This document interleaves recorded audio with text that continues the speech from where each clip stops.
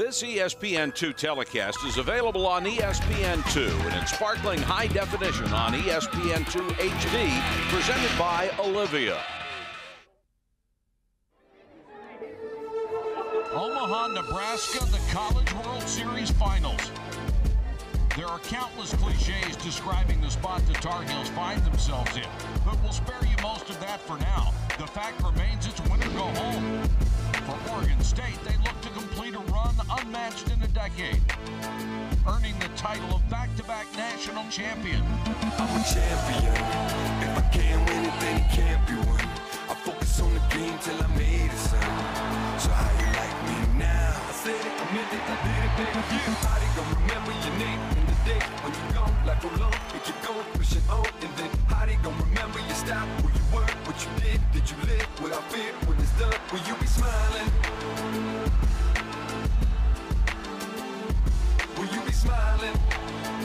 It's the College World Series Finals, Game 2, now. Champions last year and perhaps again. Oregon State made the familiar ride to Rosenblatt today, loose as usual, knowing they were one win away from the improbability of repeating as national champions.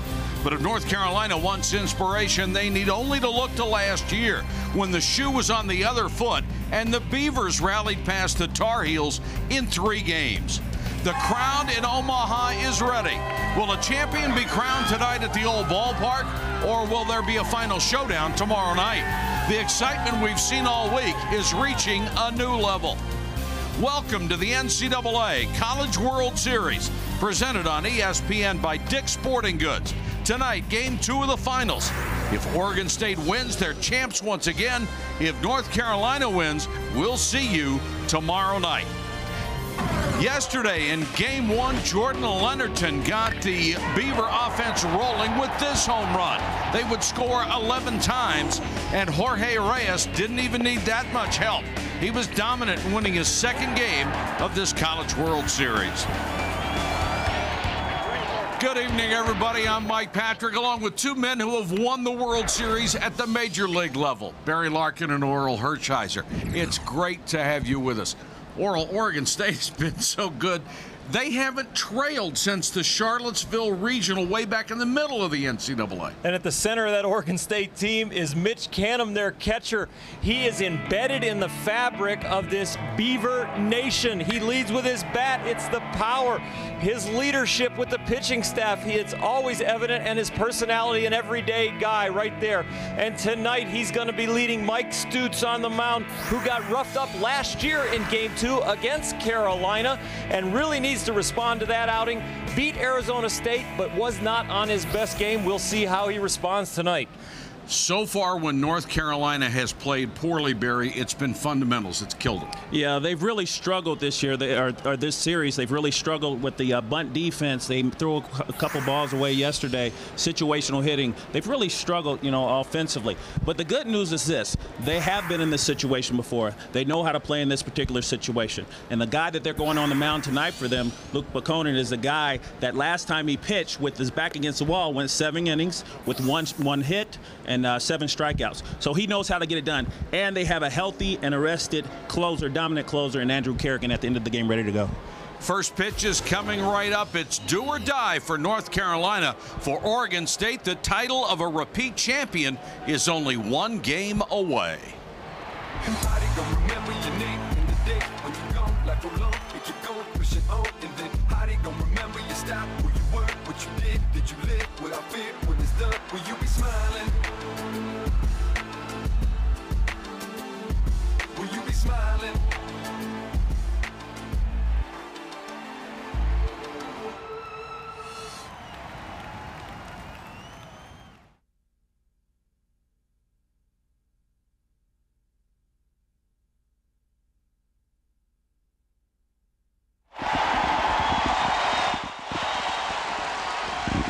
The NCAA College World Series, presented on ESPN by Dick's Sporting Goods. Every season starts at Dick's. Yeah, yeah. And in part by Citi. Oh, I'm Let's sorry. get it done. Thank you. Uh, you're Just terrible. repeating my best stuff. You're a bad man. Yeah, I love it though. No, I love it. It's fantastic. Oh, on my grave, it'll say, I repeated my best stuff. my sinker and my one-liners. I already picked out my gravestone. It Did says, you? I told you I was sick. I told you I was sick. Okay. I left my pen up there.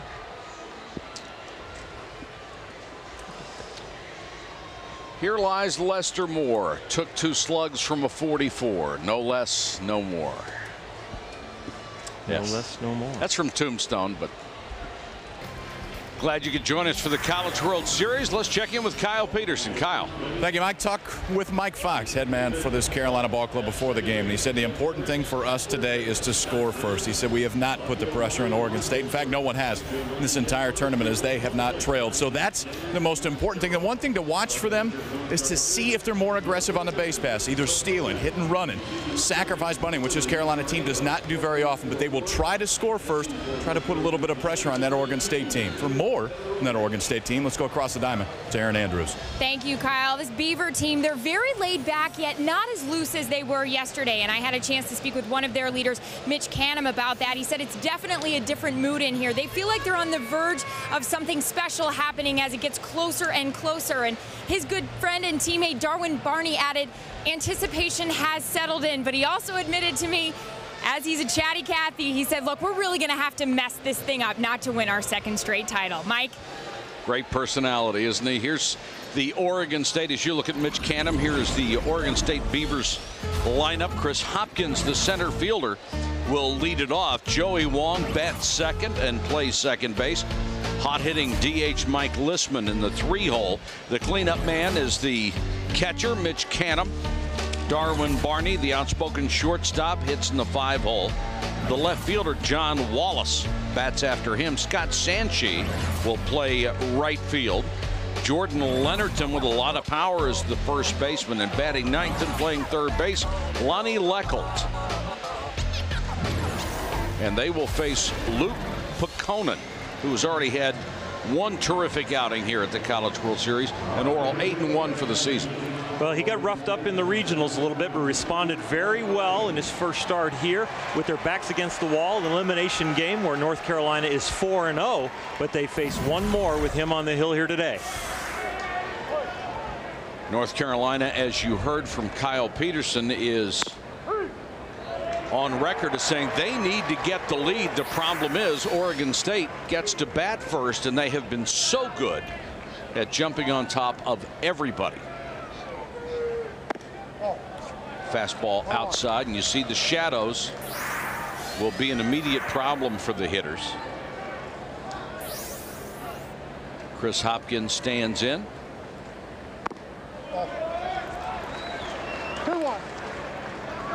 And two and one. A lot To of the Hopkins. games we've had some overcast skies to begin the mm-hmm. games. Today, bright sunshine, a big contrast in the sun and the shadows. Foul tapped behind the plate, two and two.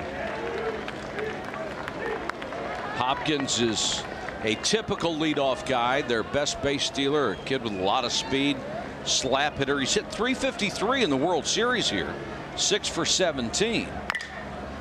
Chop toward third, Flack charges and just got it.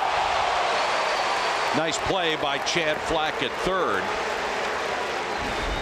Needed to charge it, field it cleanly, and get off a good throw, and he did. Reid Fronk, Seth Williams, and Tim Fedroff in the outfield. From left to right on the infield, Flack, Horton, Gore, and Ackley. Federowicz is behind the plate. Chad Flack made a nice job coming in there. I think yesterday's game started off kind of with the same type of hit. It was more towards third base line. Maybe a reversal of fortune today. Joey Wong stands in. Boy, he's had a great series and a great postseason. Since the playoffs started, he's hit 372, but he's hitting 467 here. That won't add to his total as he hits it right at center fielder Seth Williams, and two quickly gone here for the Beavers in the first.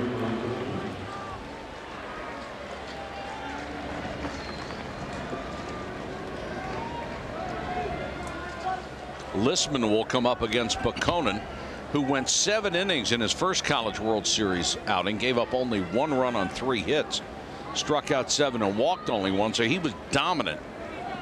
And they're going to need the same kind of performance out of him today against an Oregon State team that has yet to lose here in Omaha. He gave up a home run to Logan Johnson in the first inning against Louisville, but after that responded with six zeros. So young man could settle in even quicker here today.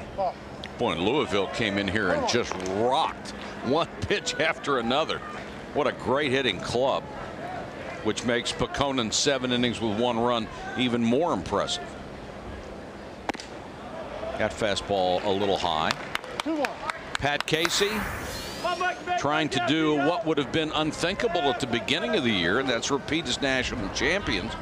And really, they struggled down the stretch, went 10 and 14 in the Pac-10 line drive to center and a good job by Seth Williams. Got a good break on the ball and ran it down in right center. Three up three down. Great start for Carolina. They'll come to bat in the bottom of the first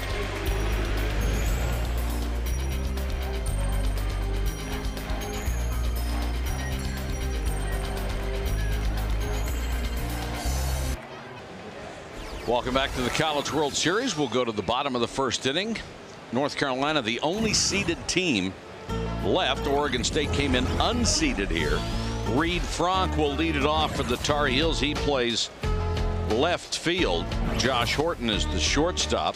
Dustin Ackley will bat third and play first base, the freshman All-American. Tim Federowicz will catch and bat cleanup. Tim Fedroff, as they move the lineup around, trying to get some more situational hitting, is fifth. Seth Williams in center field bats sixth. Kyle Seager, the DH, is seventh. Chad Flack, the third baseman, bats eighth. And batting ninth and playing second base is Garrett Gore. Michael Stutes is out to go for Oregon State. 11 and 4 an ERA just over 4 well, Stutzy, he had a, a, decent outing against Arizona State. Really was overthrowing and was flat up. He needs to stay within himself, drive the ball downhill. And notice the rotation on the curveball today, especially when the shadows get away. He's got very good rotation, plus rotation on that curveball. Gave up four runs in six innings in his College World Series outing. Reid Fronk to lead it off, and he starts him off with a fastball for a called strike. Fronk out of Charlotte, North Carolina, leading home run hitter, second leading RBI man, and he's leading off. Some teams like to do this. Get a guy up there who can be a game changer right away.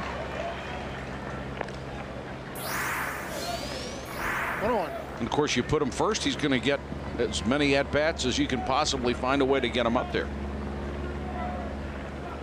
Yeah, only hitting 250 in the College World Series. And he'll draw a walk to start the ball game. Here's the way this really good defense will line up for Oregon State. Wallace Hopkins and Santschi around the outfield. The infielders, Lechelt, Barney, Wong, and Lennerton. Barney and Wong, a sensational combination. Canham, a terrific catcher behind the plate, and Stutes on the hill. Well, Mike, I think uh, Coach Casey is talking to the home plate umpire about that hit by pitch right there. We've seen this the entire tournament.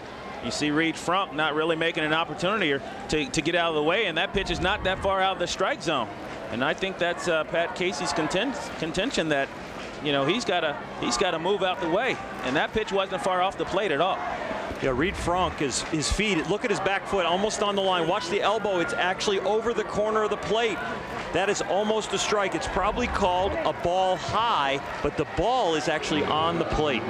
The rule says if a batter is intentionally hit by moving or rolling any part of his body into the pitch, the batter shall not be awarded first base. It also says another rule if the ball is in the strike zone, it's a called strike and not a hit batter. And this will be addressed in the offseason by the rules committee about how to how to improve this. And this is why uh, 50 hit batters and it shatters the previous record of 36, which was only set four years ago. Well, it's just bad for the game. Yeah, it is. Talking to Coach Fox, they were going to do whatever they can today to try to make things happen. To the gap in left center, and that's going to fall off the bat of Josh Horton. So they move Horton into the second slot in the batting order, and he delivers with a single left center. Well, like we said, or as I was saying, that uh, we talked to Coach Fox today, as you see Josh Horton staying on the ball away and driving it into the left center gap.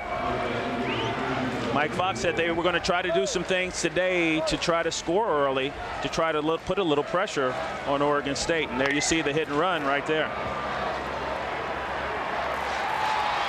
And this is a team that does not bunt very well. About the only way they have advanced runners this year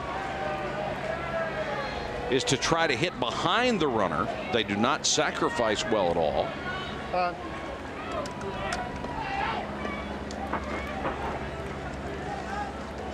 61 straight innings that Oregon State has not been behind. They're in danger of falling behind here in the first inning. Ackley, their best hitter, is up right now. The Tar Heels have had leadoff men on four times in the first six innings yesterday, including a runner at second on the first and the fourth inning and still failed to score. So they need to come through here.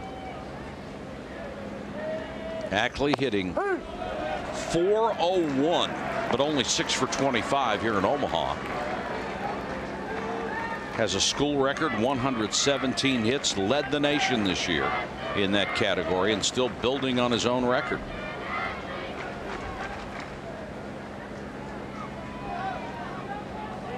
Kid that doesn't show a lot of emotion a very stoic personality just goes out and plays Carolina has been awful with runners in scoring position, but not this time. And Ackley slaps a single to left to drive in the first run of the ball game, and that 61 innings in a row streak is over.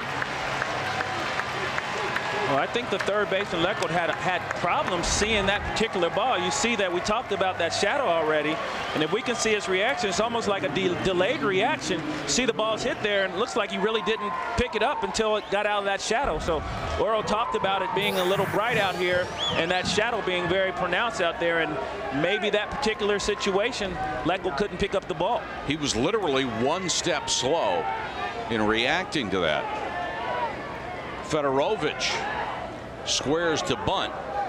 He has only one sacrifice this year. But this is how important this is. You've got your cleanup hitter who has sacrificed once. And he's looking to lay down a bunt and advance runners. Well, he struggled a little bit so far this series, so it doesn't really make a difference. Just make it happen. Right down to third base line. They will throw Federowicz out. He had only been two for 23. But he did his job that time and got the bunt down for the sacrifice.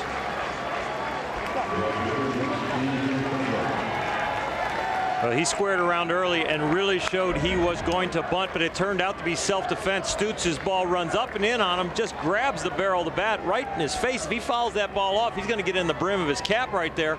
It turns out because he had the angle of the bat so perfectly placed that the ball bounced off the bat. Perfect bunt down third. Great sacrifice.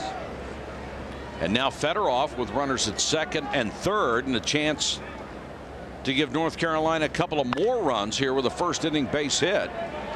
Fouls this one toward the Beavers dugout. Fedroff hitting 318 in the World Series. Second team All ACC out of Flagtown, New Jersey. This guy's a very aggressive hitter, but gets the bat on the ball, doesn't strike out very much. And with the infield back, if he puts it in play, they've got another run home.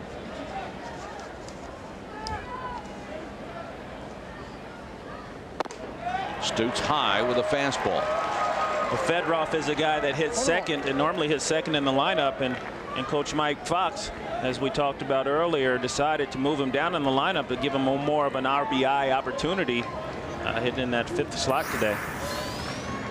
We talked about Lechelt having a problem with the shadows. Did you ever have those problems as an infielder? I mean, how much did it bother you? It definitely comes into play. You just can't see until the ball gets out of that shadow. And as with the case with Lechelt, then it may be too late. It's a great advantage for the pitcher, but you never wanted to have the ball come back at you. So I can imagine the third baseman, the second closest guy on the field, and usually where the ball is hit the hardest, the hot corner. The reaction time is really cut in, cut in half. Two balls and a strike to Fedroff. Runners at second and third. Still only one out in the inning. And a run home for North Carolina. The first time Oregon State has trailed since June 2nd in the Charlottesville Regional. They have just been ridiculously good since then. And North Carolina has accomplished what it desperately wanted to do get the early lead. This one's fouled out of play two and two. Two and two. Runners in scoring position, one of the fundamentals you talked about. And whether they got a break with the ball coming out of the shadows or not, the run counts. Well, it doesn't make a difference how you get it done. It's just a matter of getting it done. You know, very indicative of what uh, Coach Fox, I'm sure, talked with his boys last night about. You know, you saw Federowicz absolutely give himself up and show it early, and he's number four hitter, and he's bunting. So it's little things that make the big difference. Fedroff on the ground down to first. They'll come home on the throw, and he is out. Lennerton came up. Very good defensive first baseman. Made the perfect throw to Canham, and he was waiting. I tell you, that was an impressive play right there simply because Lennerton is not playing in. He's actually playing back. Exactly. And so he's not thinking go to the plate. However, that ball's hit hard enough and he has the time to pick up Josh Horton at third base and sees he's got time to make a throw, makes an accurate throw, throws it to the third base side of home plate, which is very important, and he can apply the tag. Mitch Canham can apply the tag.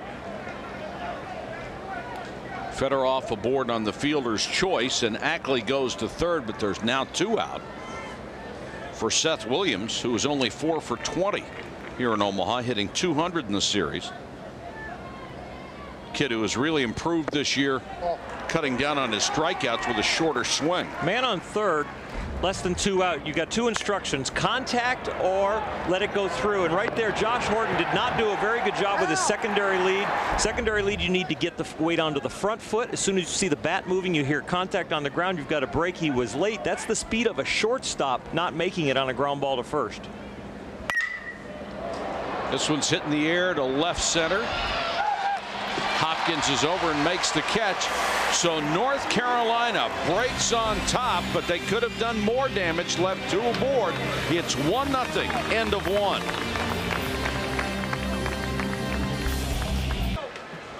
It's one nothing after one. Home plate umpire Dan Mascaro is kind enough to wear a microphone for us today. Let's go back to his conversation with Pat Casey after the hit batter. Had the ball inside. The ball was in the box. The ball was not out over the plate. Got to Be able to pitch in, Dan. Look at his cleat. Okay, one point. His cleat mark, he's almost out of the box when he starts. But it doesn't matter. The pitch, I, am I'm watching that, Pat. I, I've no, got I've watched this on tape. They take their arms, they stick them over the plate, they stand there, they don't move. This is, this is, it's been addressed, hasn't it? Please watch it. UC Irvine, 12 hit batters here. North Carolina now with 11 second. And I think Pat Casey has a gripe because we've seen batters brought back in this College World Series. It's got so outrageous the number of hit batters we've had.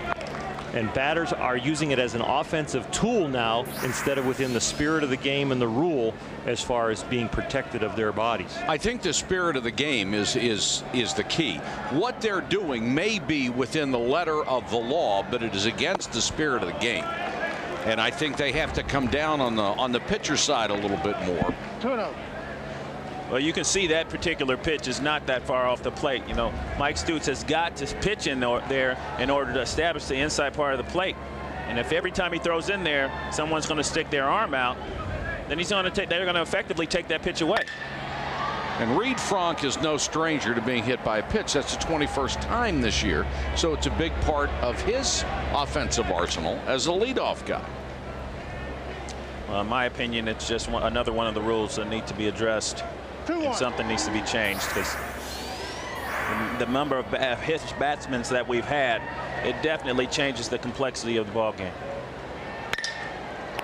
Canham off the third baseman's glove. Flack couldn't track it down and Canham will be aboard with a single.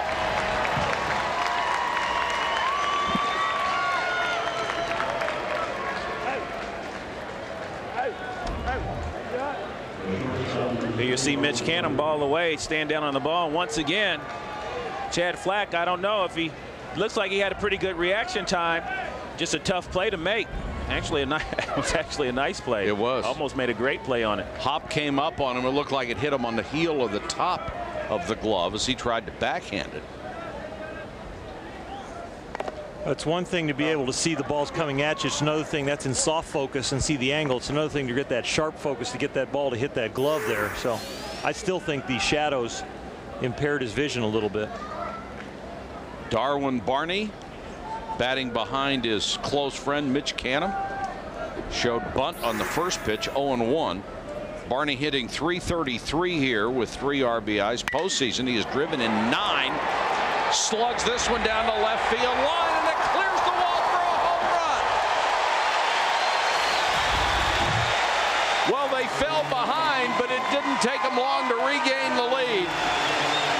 And Darwin Barney with only his fifth home run of the What time to pull one out.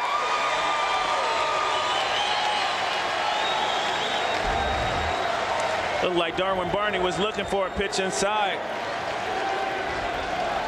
Luke Putkonen throws him a fastball in on the inner half, elevated, and Darwin just gets it out there.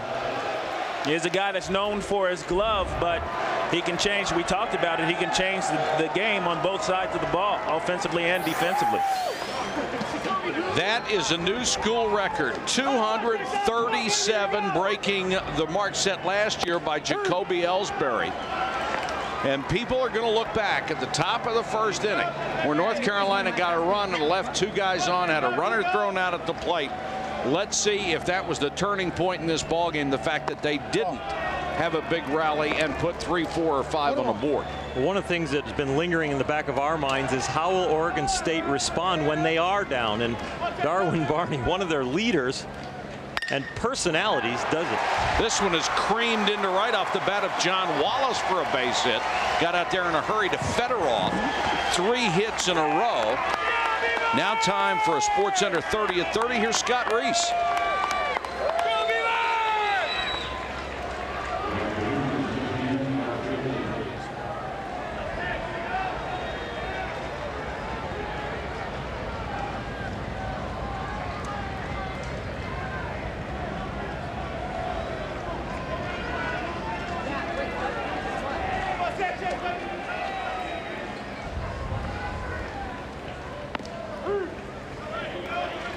Scott, thanks very much. This is Scott Santschi, who's hitting a crisp 444 out here.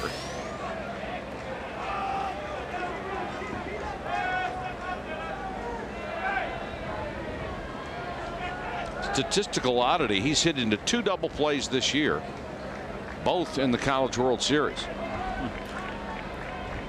But he has a home run and three driven in as well. Well, impressive how Oregon State has responded to falling behind. We wondered if the looseness would stay there. These guys have jumped on fastballs. They've still been swinging at hitters' pitches. They're not pressing and chasing the ball out of the zone. So they weren't down very long, but they did have to experience it, and they jumped right back on top. Darwin Barney right behind Pat Casey, making him laugh. He does that a lot.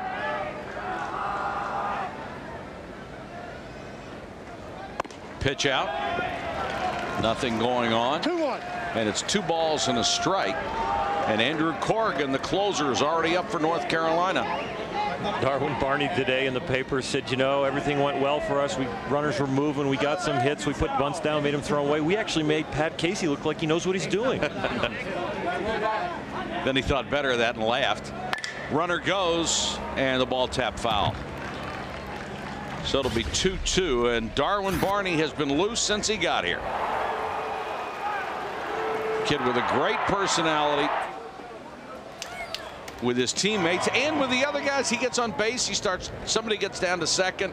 He'll start up a conversation.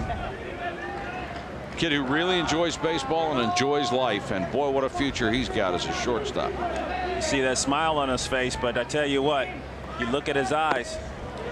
Runner goes on the 2-2 and is into second base on a, on a steal. Wallace got there ahead of the throw from Federowicz.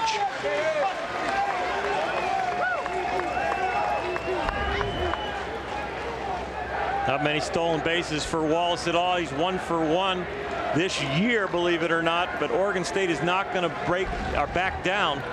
They are one win away from the national championship. If they see an opening, they're going to go for it. 3-2 to Santschi, and now he'll be trying to pull the ball to the right side, if nothing else, and gets a base on balls instead.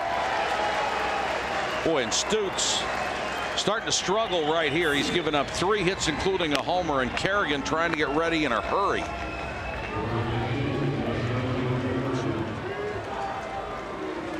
I said Stutes, but Conan, excuse me. He's obviously having a tough time. And Carignan getting ready just as as quickly as he can.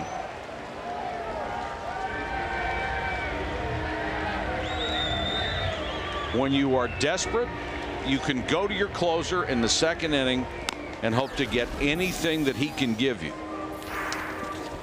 Well, I watched, you know, Woodard and White really struggled early. Before Woodard's last performance and White's last performance, the guys didn't even get out of the second inning or didn't Right. get through the second inning. And Luke Putkonen was a guy that, that stepped up when they played Louisville in an elimination game. You know, we talked to Mike Fox early today, and uh, and he told us, listen, this is it for us. So we're going to come out with Andrew Carignan. We really, you know, we didn't know what that meant, but obviously we can see he was serious about it. Nobody out in the second. Runners at first and second. Two already home. And after the Darwin Barney homer with a man on board, they have gone to small ball, trying to add to it. Jordan Lennerton, with all that power, is up there. Let's see what they do with him.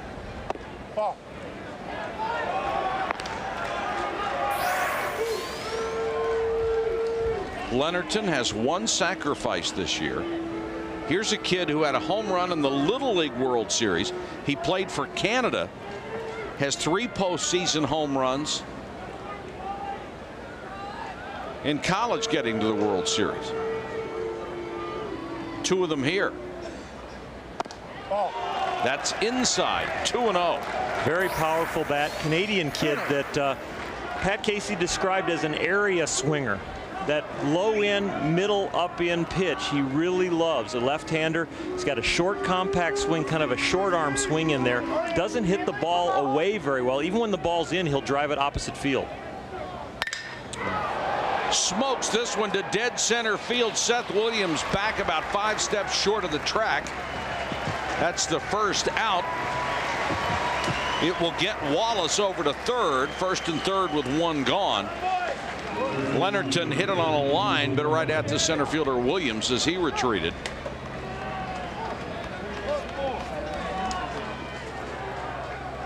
So Putkonen trying to get out of a jam here without any more damage.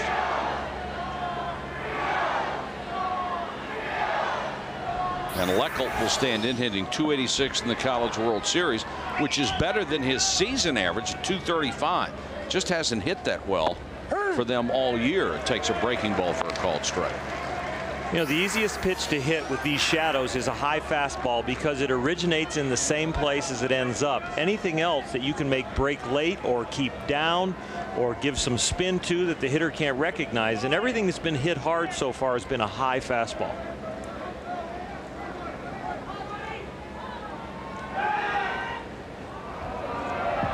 Two on, one out here in the second. North Carolina broke on top in the bottom half of the first, but Oregon State came right back to regain the lead, and they're bidding for more.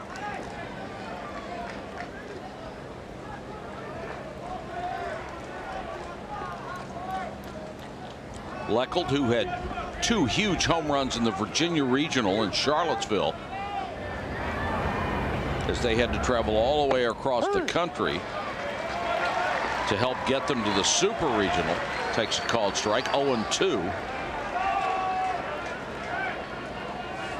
North oh, Carolina needs a double play. They had five yesterday, tied a World Series record. But Lechelt, not much of a candidate. He hasn't grounded into any all year. Breaking pitch low. One and two. One ball and two strikes from Luke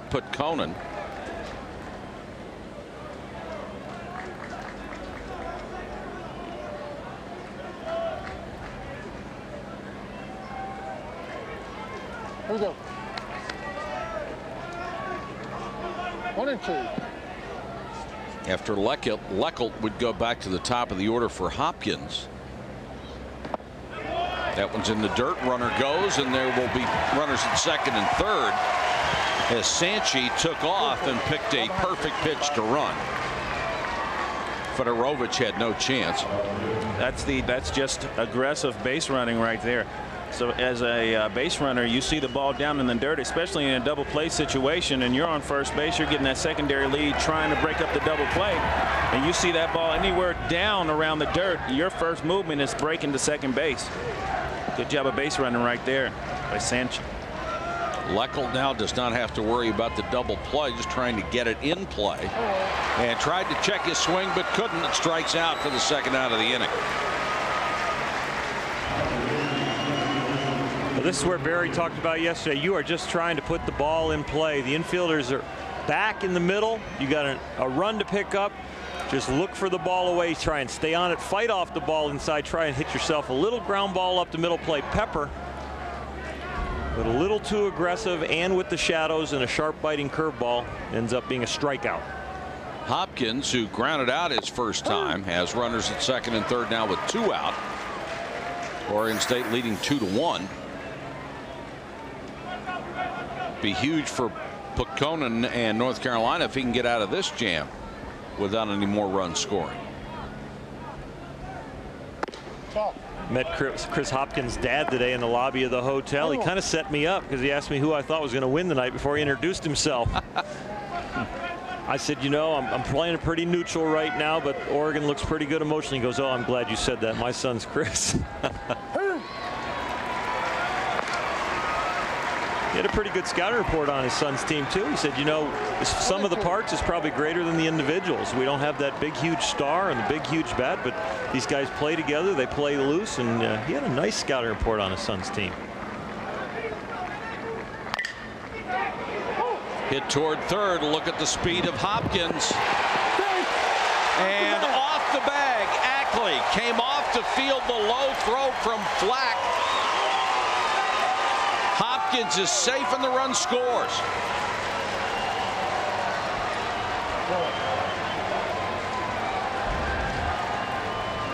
Chris Hopkins can definitely run, and Chad Flack knows he's got to get rid of that ball quickly. He comes up and makes a pretty good play. Unfortunately, that ball on the, in the ground and Ackley in the dirt, and Ackley has to come. Look, he jumps off the bag in order to block that ball. Great call by the first base umpire sure right was. there. It's an error on the throw, no RBI, but it's three to one. Hopkins aboard on the error. Santschi goes to third, and this is Joey Wong.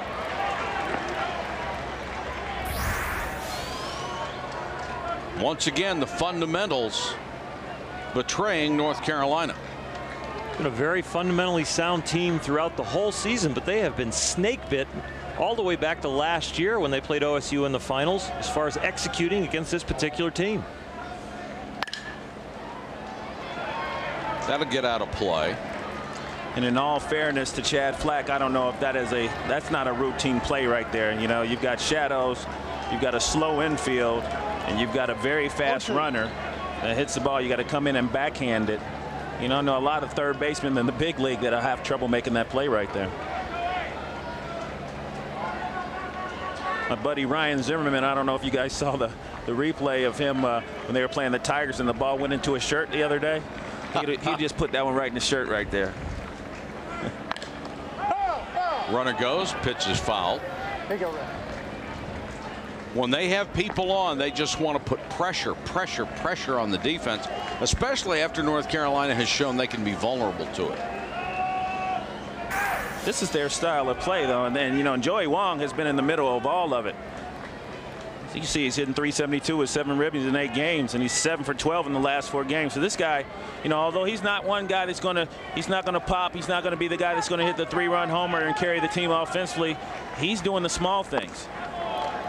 31 pitches this inning for Putkonen, and Hopkins cruises into second base with no throw. Well, the breaking ball has been the pitch that has got him some outs. Watch for the wild pitch in the dirt right here, one and two. With a man on third. And Carignan just itching to get in there.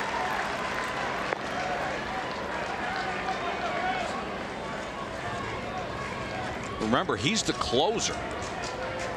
The guy who usually comes in in the ninth after a setup man takes care of it. The longest outing he's had in his career, four innings, and they're calling on him perhaps in the second. Well, in all our meetings with the head coaches, because of this format, they've talked about how the save is not always in the ninth inning. Sometimes it's in the sixth or the seventh, but I didn't hear anybody talking about the second. Three balls and two strikes. Joey Wong, the eighth man to hit this inning, and he walks. Well, you would think if North Carolina is going to go to the closer in the second inning, this may be the time because Lissman is up, a guy who can make this a 7 to 1 game with one cut. Mike Fox on the dugout steps, and here he comes.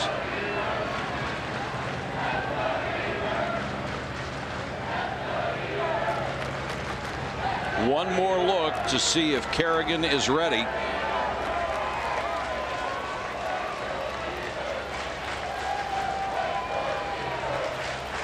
The theory behind this, there is no tomorrow if you don't win today. If you got to use them all, use them all. We'll check out Carignan's numbers when we come back.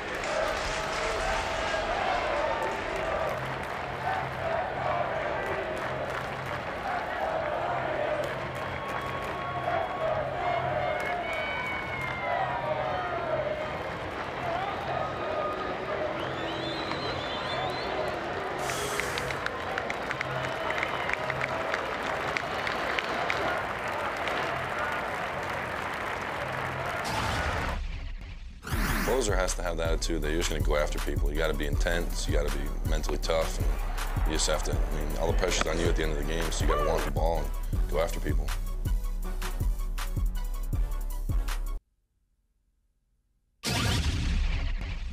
Closer has to have the attitude that you're just going to go after people. You got to be intense. You got to be mentally tough, and you just have to. I mean, all the pressure's on you at the end of the game, so you got to want the ball and go after people.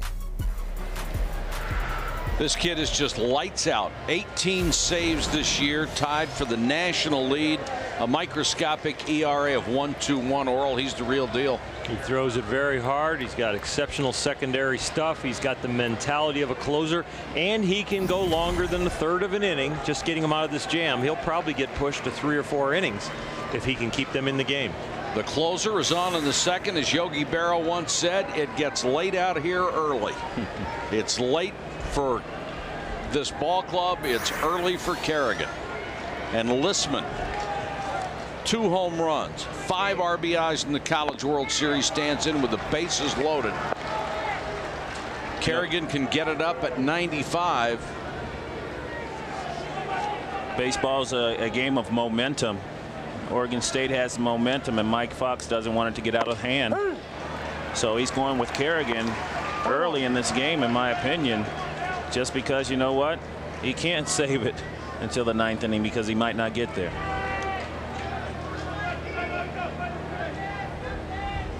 Lissman hitting 400 in Omaha. Late on a fastball, fouls that one out of play.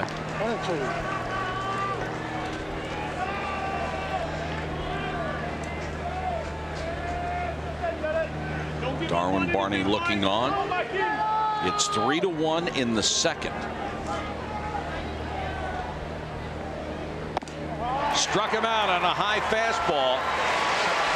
Carignan shows you why he has saved 18 games this year. He's got magical stuff.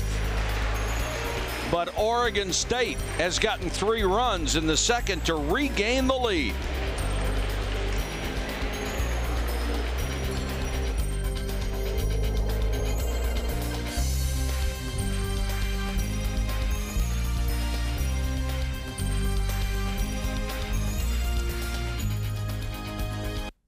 Welcome back to the College World Series in Omaha, 3 to 1 Oregon State. Let's check in with Erin Andrews. Erin. Mike, Oregon State players really respect Mitch Canham, not only for what he does on the field, but what he's had to endure off of it.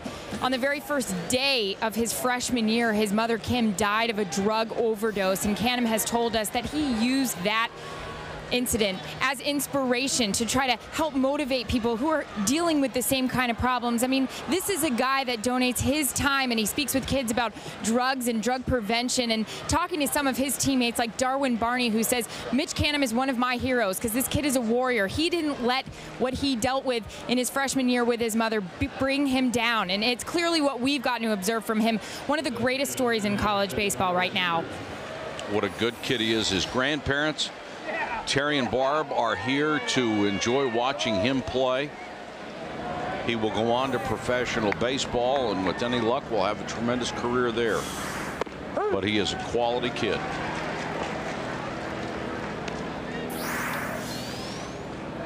North Carolina has to go back to work with the bottom third of the order. This is Kyle Seager. The Heels are down three to one. They had a brief lead the first time Oregon State's been behind in 61 innings of the NCAA tournament and 50 innings of the College World Series. The numbers on Seager sitting 286 in the series has driven in a couple. Psychologically, if you're North Carolina, it's important to try to come back with something right away because, uh, you know, you press up on these guys and they push back you know, you're thinking you're elated at first. You're like, okay, we scored, we got them behind. Then not even a half an inning later, they drop a three spot on you. So it's very important for them to answer the response of Oregon State. Seager takes a pitch hmm. low from Stutes. It's two and two.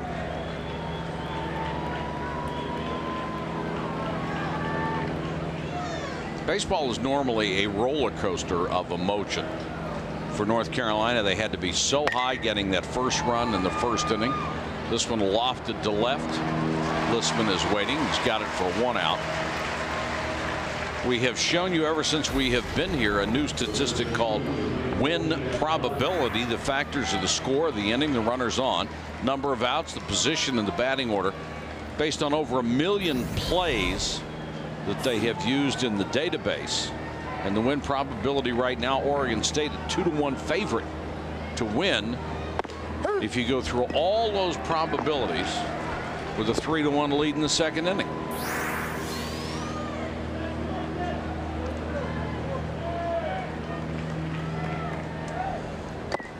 We would caution you, however, it says probability, not something you can put in the bank. Well, we've seen that shift a lot as far as the scoreboard and the probability. It's just kind of an added conversation starter, really, of what you logically would be sitting there with your buddy or your family, kind of predicting who's going to win or lose. Somebody has put a number on it now. Chad Flack 0 2 spoils a fastball.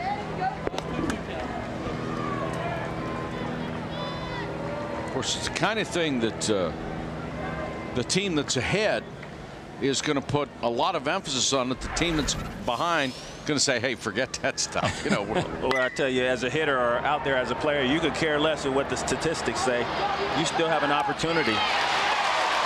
Hopkins ranges back toward the warning track and makes the catch for the second out of the inning right now, Oregon State's got to be back up emotionally, and Carolina has to be down a little bit. Well, yeah, this is a mental battle that you go through. Even at the big league level, I can remember giving up runs on the mound and going through that emotional battle of I'm not going to give up. I've got to stay within my game plan. You know, I've got to attack Barry with this pitch. I've got to do this, and he's already got a hit or two and three RBIs, and I know he's hot. And how am I going to adjust myself? We just got to play the game.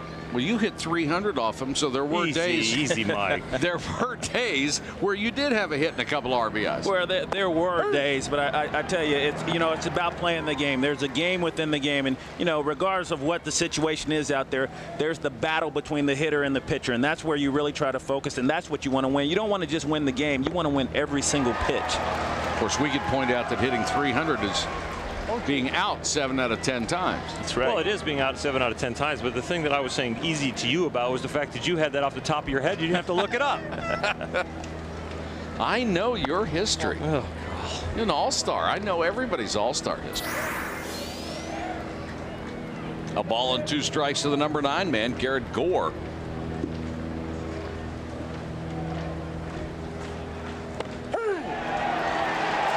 Struck him out looking. One, two, three for Stutes. Mitch Canham, Oregon State's catcher and leader, coming up in the next inning.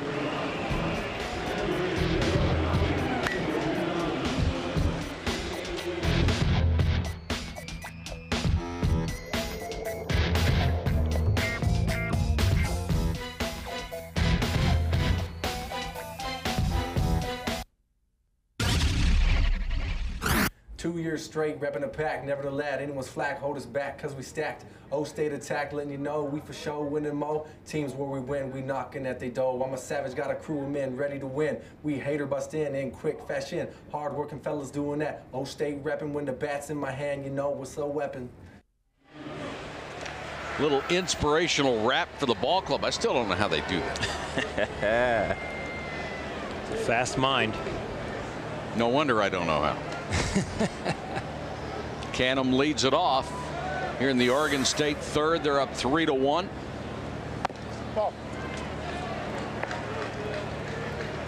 And Carignan, the closer, is on for his second inning of work. Canham seven for 17 at the College World Series. Kid is a streak hitter, really good athlete. Uh, we were watching batting practice as people went in and out of the cage. We really couldn't see their numbers because of the meshing around. And Barry and I were commenting on who do we think that is. And Barry said, I think it's. And it was like the feet were awesome. The hips were fast. The hands were great. The posture was good. The swing was solid. First round draft pick. Ripped past the diving shortstop Horton. So Canham is two for two. A ringing single there. We're at the College World Series in Omaha for North Carolina. This is an elimination game. Oregon State won the first last night 11 to 4. Carolina has to come back tonight to force game three. They did get the lead in the first inning. But Oregon State responded and is back on top three to one.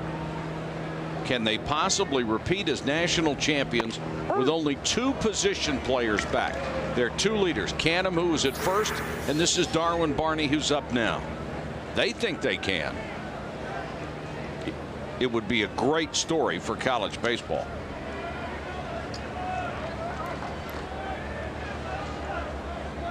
Barney homered his first time up.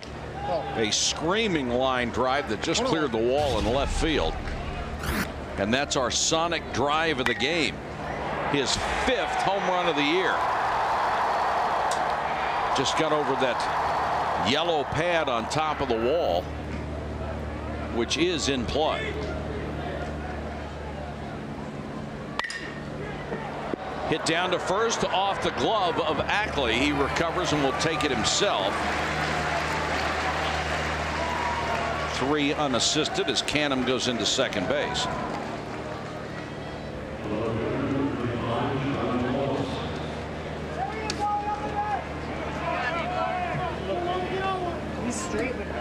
Now John Wallace, who singled a line drive to right his first time.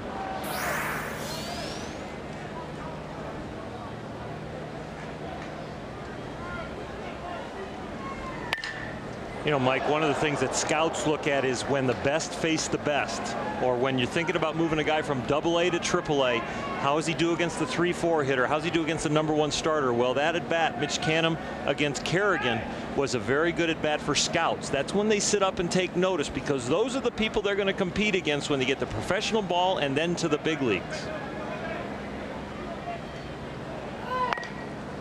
Bunted toward third, rolls foul. Wallace trying to bunt his way on. Guys are really good at small ball. They love to manufacture runs. But it's an oddity. This is not a team that gives you the flipper over the plate and tries to get hit. And a lot of small ball teams in college, that's exactly what they do. Well, yeah, they do, but but Pat Casey is not going to have his guys go out there and do that. He's a fundamentalist. He wants to go out there. He's a teacher. I mean, there's a reason he's still he's still there. He's had a lot of opportunities to go elsewhere, but he wants to be there and he wants to continue to teach. And he's done a great job with these guys. They're out there playing the game the right way and trying to win the ball game.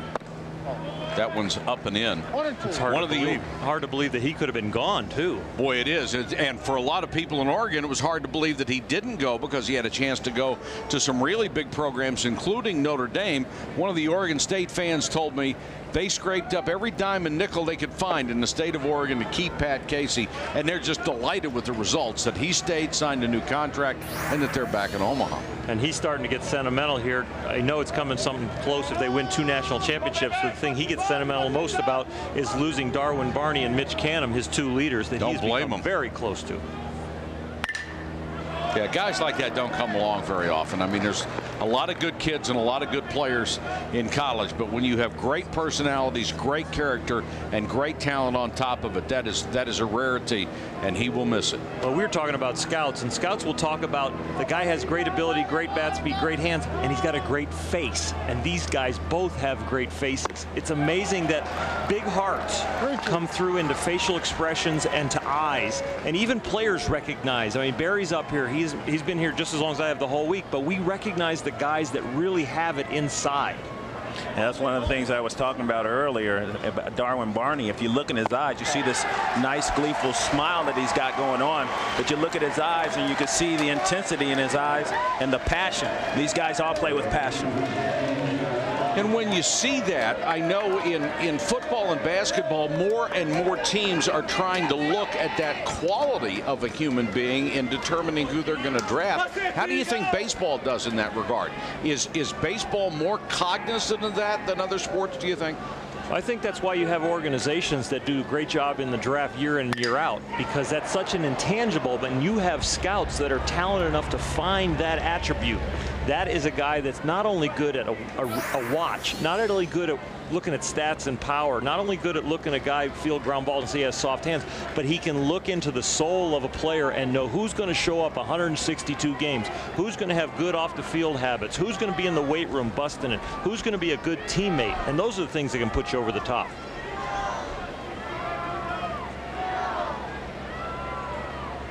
Two men on, one out for Scott Santschi. We playing against Barry. I knew his ability, but I also knew Barry was going to show up every day, no matter if he was 0 for 4 or if he just booted a ball in the infield. He wasn't going to throw it bat away, and that's what you respected in a competitor. That's who you want on your team.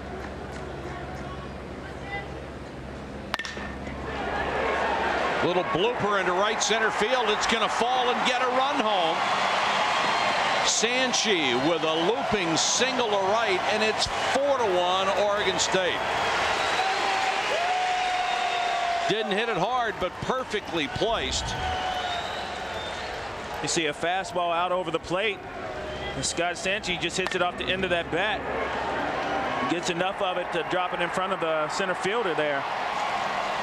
You know, and Andrew Carignan can't do it all by himself. You know, he can only minimize the damage that's been done and try to give these guys an opportunity to stay in the game. Anytime you see a closer come out of his role as a closer late in the ball game, you're always concerned with how he's going to perform. And, you know, and you, start to stretch these guys out, they become a little more vulnerable. The win probability now nearly four to one in favor of Oregon State, even though it's very early, only the third inning. And here's Lennerton, who has homered twice in Omaha. Looking down for a sign. What do they want him to do on first and third? One out.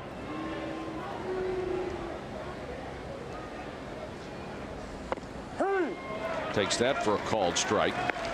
This, in my opinion, is huge for North Carolina right now because if you're North Carolina, if you're playing on this team, you're thinking, okay, we're throwing our ace out there and he's going to stop this onslaught. Yeah. Well, if he gives up a couple more runs this particular inning, this could be devastating for the psyche of the players.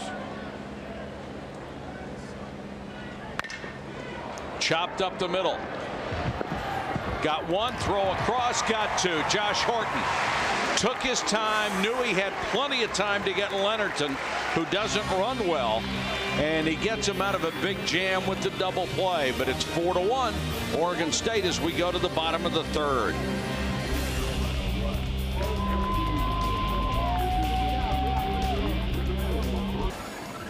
Outside of Rosenblatt Stadium, that great statue. Inside, it's 4 to 1 Oregon State. And down on the field, it's Erin Andrews. Mike, Oregon State undergrad assistant Kurt Steele had a pretty busy 48 hours, if you will. How about getting married yesterday back in Oregon? His lovely wife, Kathy, now here today in the stands with her veil on, no less. But, you know, he had this wedding planned for a year. His best man getting ready to be deployed to the Middle East. So he wanted to get it, you know, he wanted to have him in his wedding wedding. Well, here's a funny story that happened yesterday during the seventh inning, which, by the way, ended up being the time his best man was giving a toast. Oregon State started chipping in some runs, and the whole crowd went nuts inside the uh, reception, so no one was paying attention to the toast. Great wedding, I heard. Uh, I heard they arrived this this afternoon at 1:30, but they had to leave Oregon this morning at about 3:45. But he's here, he's ready to go, and God bless Kathy for being here on her honeymoon. I think Kathy deserves a standing ovation, Erin. That is uh, that's pretty good stuff.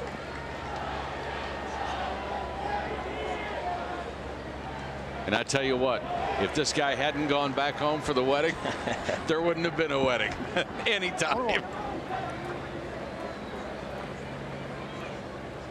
First time I've ever seen someone at the ballpark after they got married still wearing the veil, though.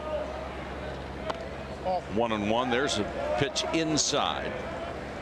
You see that pitch inside. Reid Fronk did not even attempt to get out of the way once again. That pitch missed him by a matter of inches, not centimeters. He got plunked to start the ball game, and that's a fastball. Outside and high, three balls and a strike.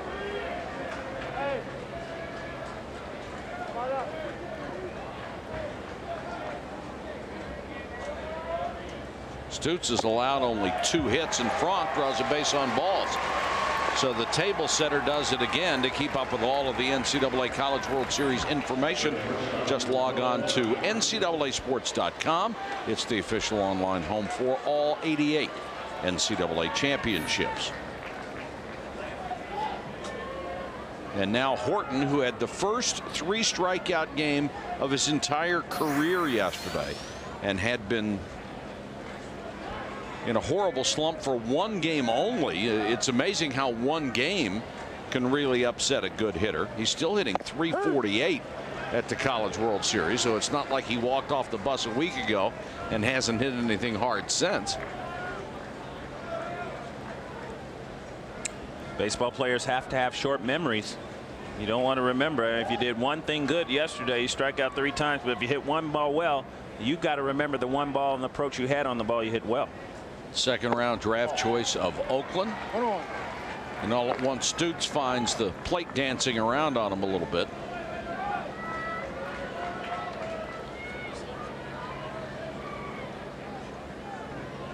If North Carolina doesn't come back and force a game three, they're going to look at themselves very hard about their lack of fundamentals. A team that has worked on sacrifice bunting all year long just hasn't been able to do it just not good at that aspect of the game.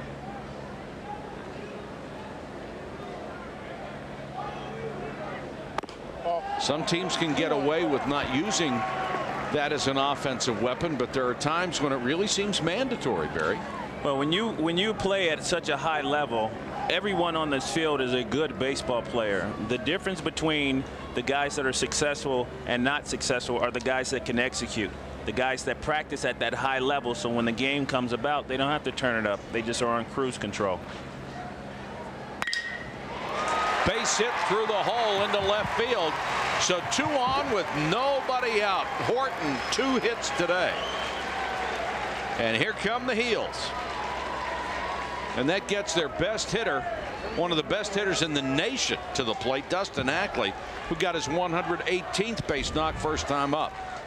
Now, Mike Stutes has been collapsing that back leg and throwing uphill. He's not been able to get the ball to his non-arm side. As soon as you collapse your knee that great, your hip can't function and get around. See how the back hip is actually behind his front leg and never fires forward?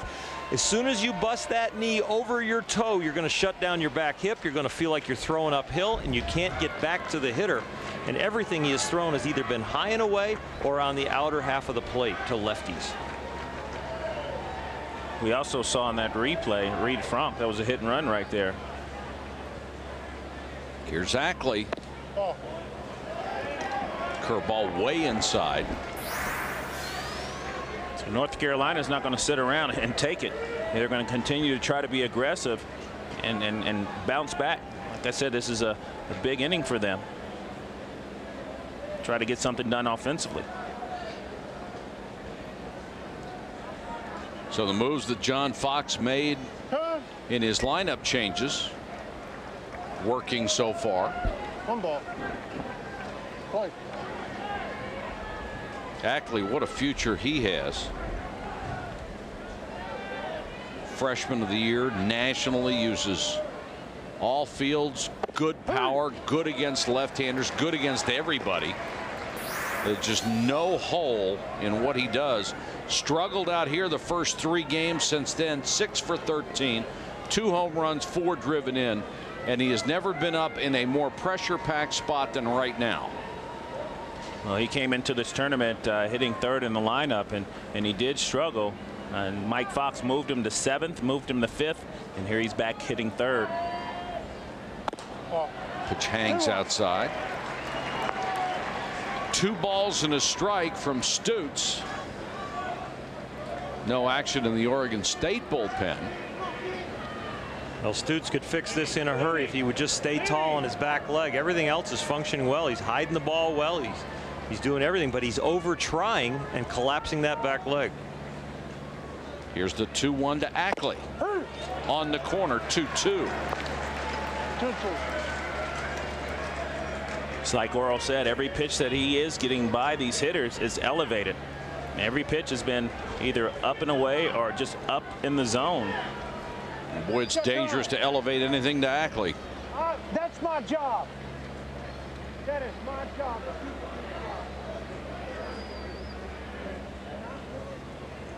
Mike Fox wanting to talk to home plate umpire Dan Mascoro, and you heard him say, That's my job. And I don't know what he was responding to. Kyle Peterson, you have any word on that one? Yeah, Mike, before the game when I talked to Mike Fox, one thing he pointed out is this Oregon State team plays at a different pace than they're used to. They try to slow the game down, and you'll see sometimes Mitch Canham look over to that dugout, take his time to get the pitch call, and then put that pitch call in. It was one of the things that really bothered this club yesterday. I think that's what it was right there. They want the pace to be a little bit faster than it was yesterday, and I guarantee you that's what he wants to talk to Dan Mascara about right there. All right, thanks, Kyle. Here's the 2-2 to Ackley. Popped it up. That'll get back on the screen just below us. That's a little upside down from the normal logic. Usually it's hitters that are stepping out to slow the pitcher down so that they mm-hmm. can't suffocate the hitter. And here we have an offensive team griping about the pace of the pitcher slowing down. Probably a lot of these coaches have read, read Dave Pelz's book on golf for a practice swing within 9 to 11 seconds of when you take your shot that you can feel it. Three balls, two strikes.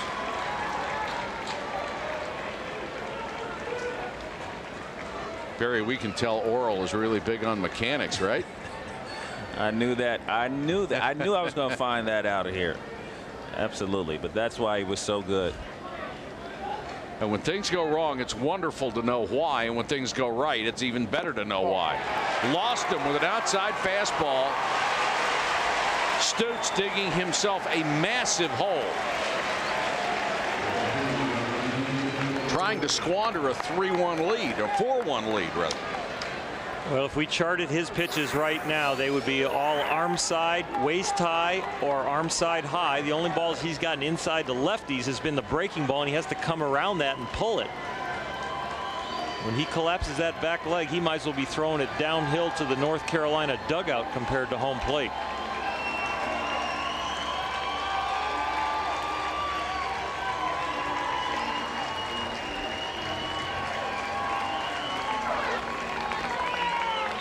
Tourney Track says in this situation you get two or more runs in 73% of these situations. And that would be great news for Carolina because they need two plus runs and they need them right now. And right now, Pat Casey is looking at his bullpen and nothing's going on down there. Federowicz comes up with the bases loaded.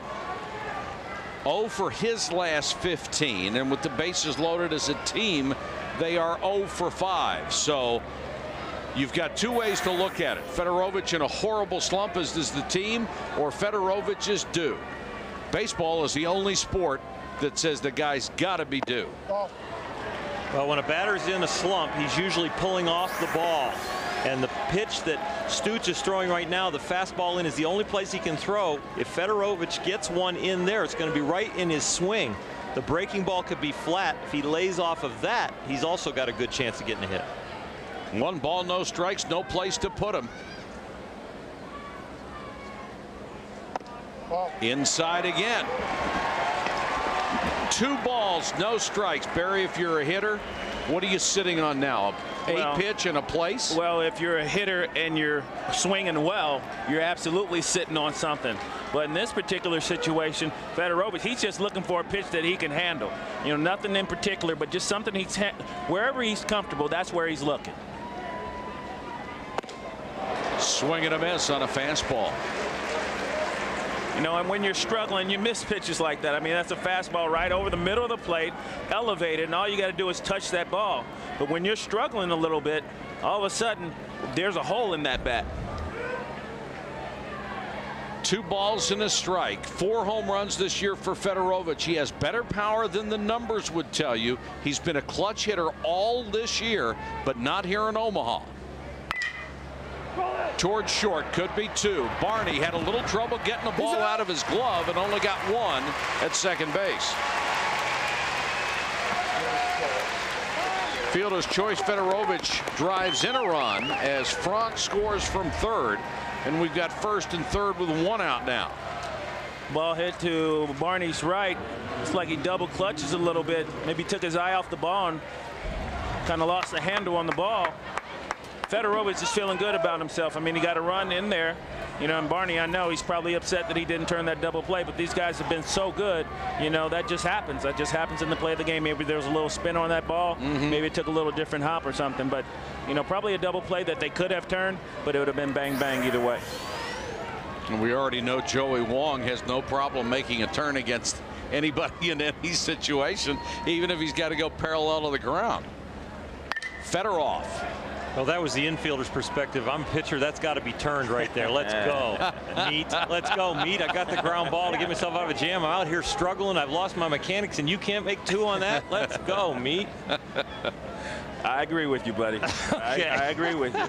I'm you be myself. trotting in there to the mound right now myself. saying to me, I'm right. sorry, throw me another one. You're I apologize. Right. You're daggone and right. I know what Darwin Barney's thinking the same thing. You're right. Swing and a miss. No balls and two strikes to Federowicz. He you know, grounded into a fielder's choice his last time up. Situation like that, if you are a middle, middle infielder, you obviously want to turn a double play, but every ball that's hit, and Barney's been very good at this. You got to want it. You want to make sure when you hear it, as cliche as, but it absolutely happens. Tried to check his swing, but he didn't. Federowicz called out on a check swing. Major League Manager wants a player that makes the routine play routinely. Federowicz looked like he went a little past parallel. Absolutely. But guys, I mean, if you're a middle infielder, you're, you're thinking you want to make all the dynamic, the spectacular plays, and, and Darwin Barney and Joey Wong have absolutely done that. But the thing that they have done is they made every routine play, they've made them routinely, and that's what that's what people want. That's what a manager relies on. That's what Orel wants when he's pitching. Now Seth Williams, Stutes trying to get out of a huge jam with two outs and runners at first and third. Isn't that right, Bulldog? It is right, big guy. I still want that double play ball, though. Get over it, me.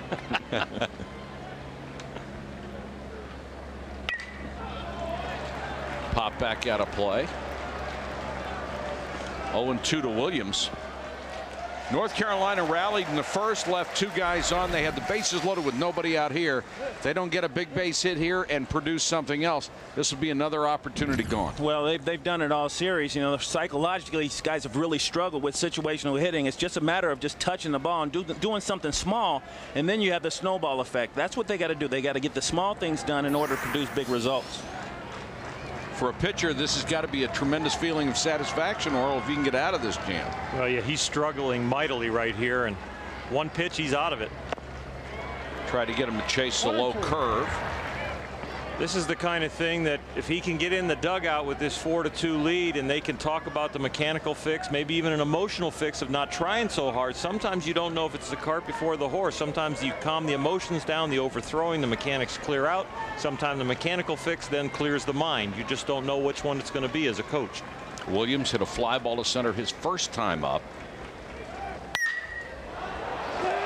In the air to shallow left. Barney back on the grass says he wants it. He's called off. And the catch made in left field by John Wallace. So Stutes does get out of it. Bases loaded, nobody out, allows only one run and preserves the four to two lead. The frustration starting to build for the Heels.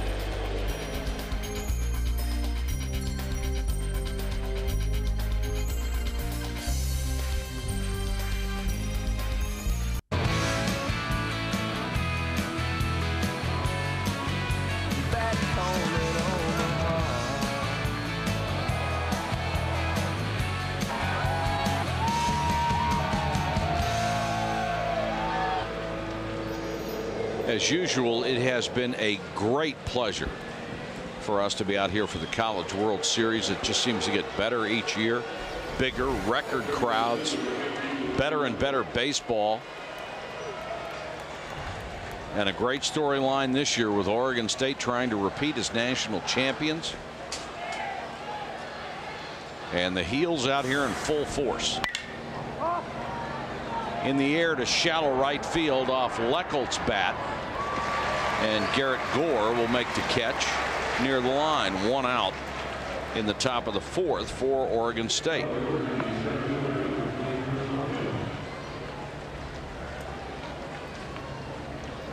In case you joined us late, Andrew Carignan, the closer for North Carolina, is already in the ball game. He came on with two out in the second inning trying to shut down a rally and did. Fastball low here to Hopkins, who is one for two, or 0 for 2, reached on an error his second time up. Well, Carignan's got some giddy up on that thing, doesn't he? Yes, he does. Here's the starter, Putkonen, who struggled from the very beginning.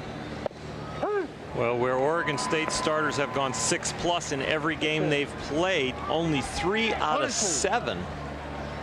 Three out of seven, note, of the starters for North Carolina have only gone two innings. And Putkonen didn't make it that far, one and two thirds. On the ground to the shortstop, Horton. Two out quickly.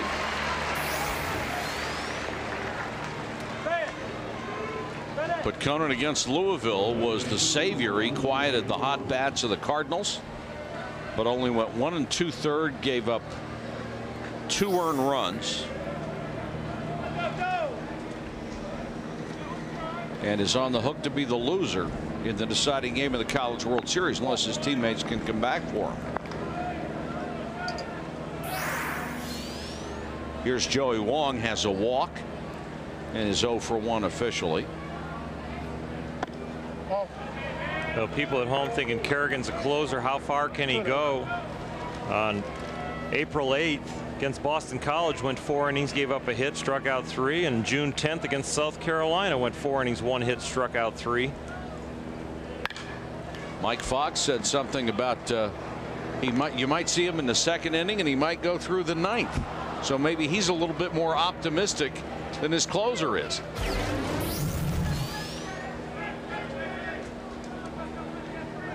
First four games in the series when a combined six in the third. In the one four inning outing, he, he struck out three and walked three.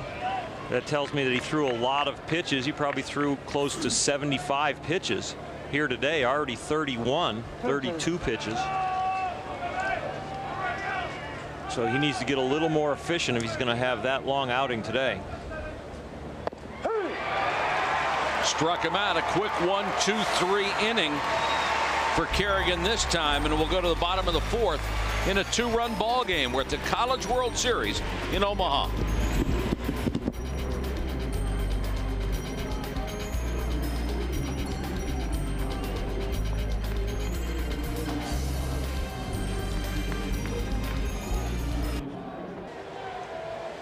This ESPN2 telecast available on ESPN2 and in sparkling high definition on ESPN2 HD. Presented by Olivia.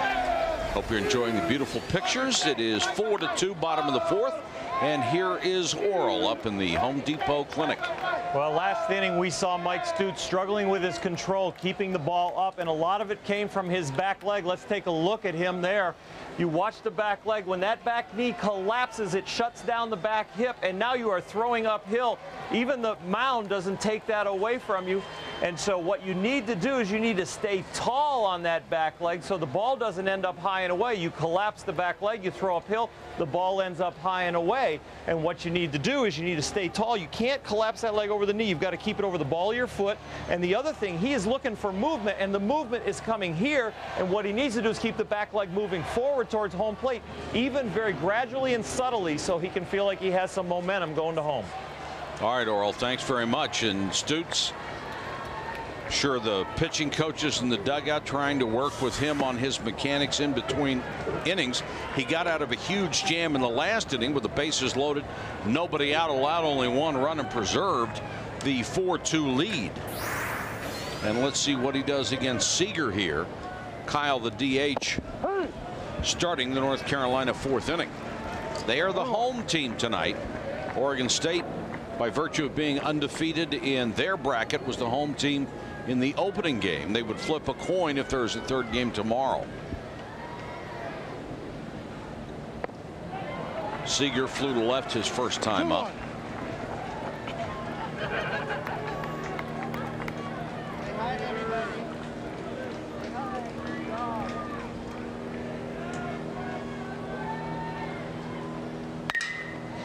Ripped back up the middle for a base hit. Past the pitcher. Let's go to Scott Reiss in the studio, a Sports Center 30 at 30. Scott.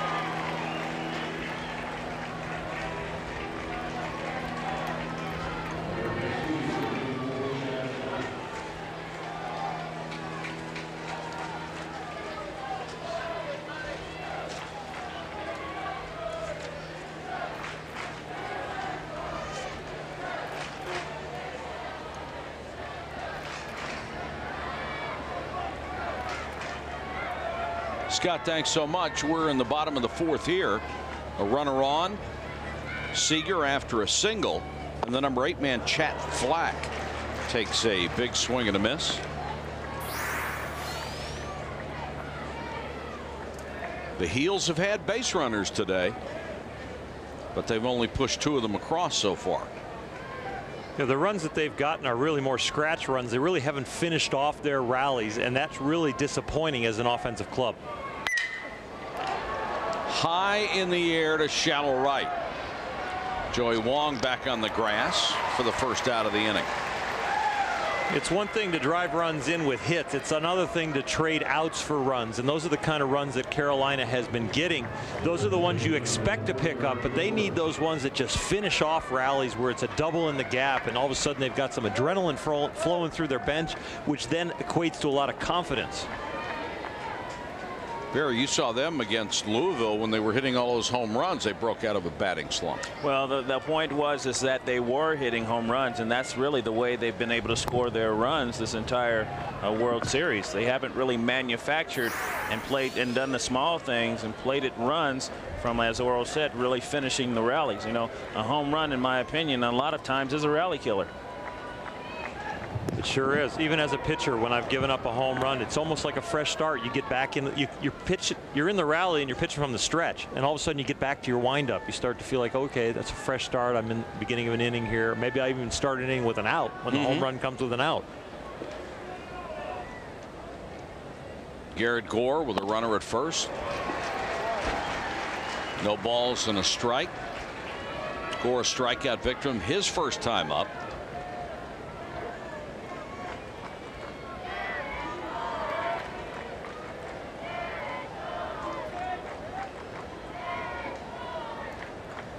We're in the bottom of the fourth and finally see some activity in the Oregon State bullpen as they get ready with Maxwell and Grbavac just in case. Maxwell is the left-hander. We have seen Grbavac pitch in the College World Series. No balls and two strikes to Garrett Gore with Seager at first and one out.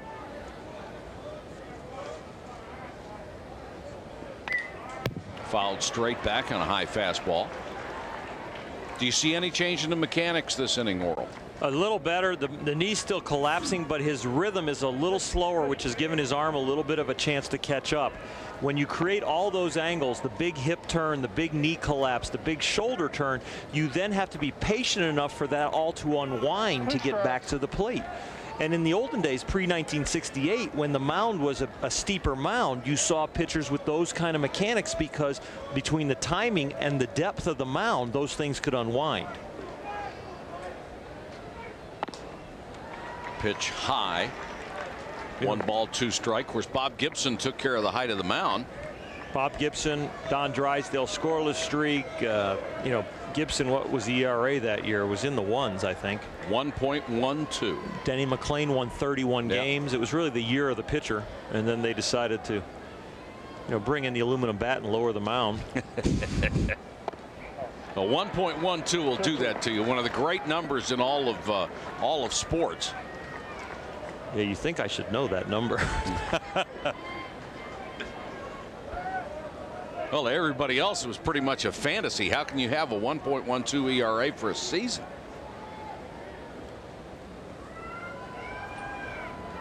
Of course, Bob lives in Omaha. He was a basketball star at Creighton and has a street down here just uh, below the ballpark named for him.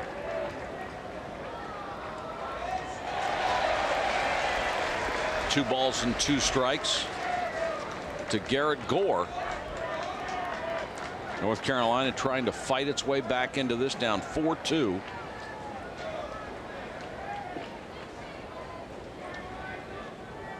Gore hanging in against Stutes. And is called out on a fastball that looked like it was off the plate inside. Boy, that's a break for Stutes.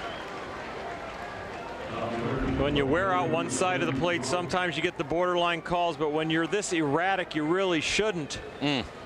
And right there, I know when the umpire sees that one later on the DVD that we supply them, he's going to be a little upset with that call.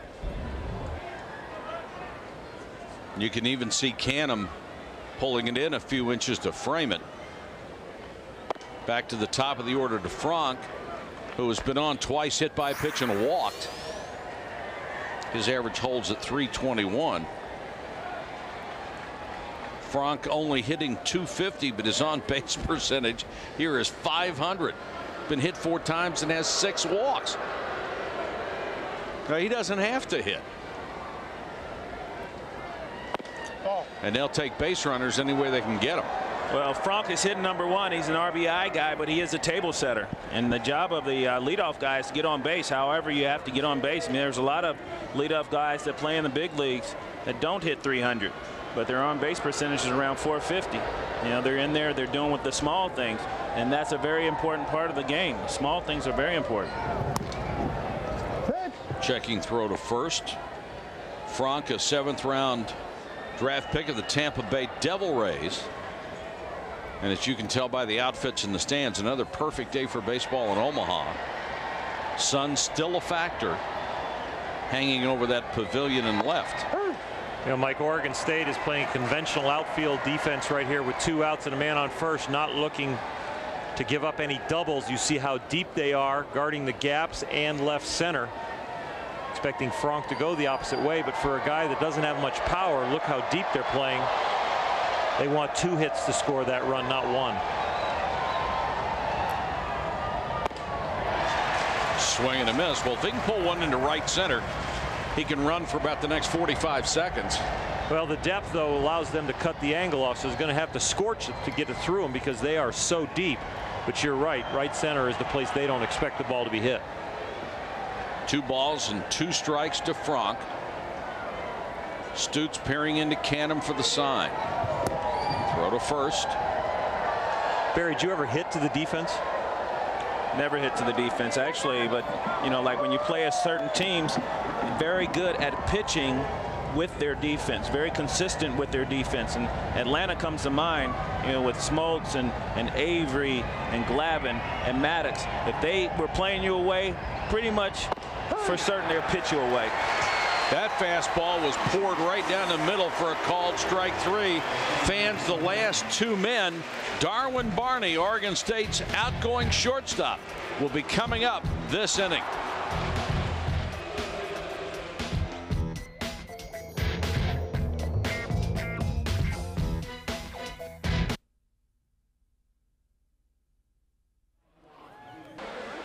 Andrew Miller was a star pitcher for the Tar Heels of North Carolina. Right now, he's pitching for Detroit on Sunday Night Baseball. We asked him what his experience at the College World Series has meant to his major league career. Yeah, just the experience of you know pitching tough games and, and big games. You know, it's a little different in college than it is here, but you know, pitching against a rival or something like that. You know, just taking the excitement and you know having to pitch under those conditions and. Uh, luckily I got to experience that quite a bit at Carolina and carry that over to here. He has pitched two and a third tonight for the Tigers uh, without giving up a run. And boy, when he has uh, made his progress through minor leagues to join that pitching staff, it's pretty good stuff. Well, it is. I remember doing Wednesday night baseball last year, his first big league outing against the Yankees. So he faced the likes of uh, Cabrera and Jeter and Damon, I remember. Got out of that inning, but from college ball, short minor league stint to facing the Yankees.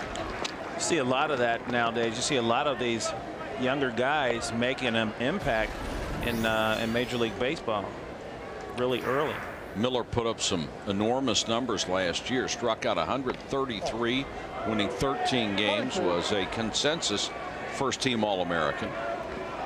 Well, there was talk around Tiger Camp that he would make the team. I think Jim Leyland wanted him to make a team but they're really looking after the fact that uh, they want to look after their young arms. But Leyland is a talent oriented manager. He will take talent over experience anytime. Lissman hit by a pitch as Carignan came inside. Let's go to Kyle Peterson. Thanks, Mike. And talking to Scott Forbes about Andrew Carignan on the mound today, I asked him how far can he go. He said, well, we don't think we want to take him any longer than 70 pitches. Orel mentioned earlier he's gone four innings twice this year. When I talked to Carignan before the ball game, asked him how far he thought he could go. He said, well, I think I can go four. And then he looked at me and smiled. And he said, at, at least four. He said, if we need me, I can go further than that. well, right now they still need him. Of course, if he goes longer than four, you pretty much get the idea he's toast for tomorrow should there be a game three. But you've got to get to tomorrow. You'll do funny things when championships are involved. I went Yeah. seven innings against the Mets and came in relief the next day to get the save.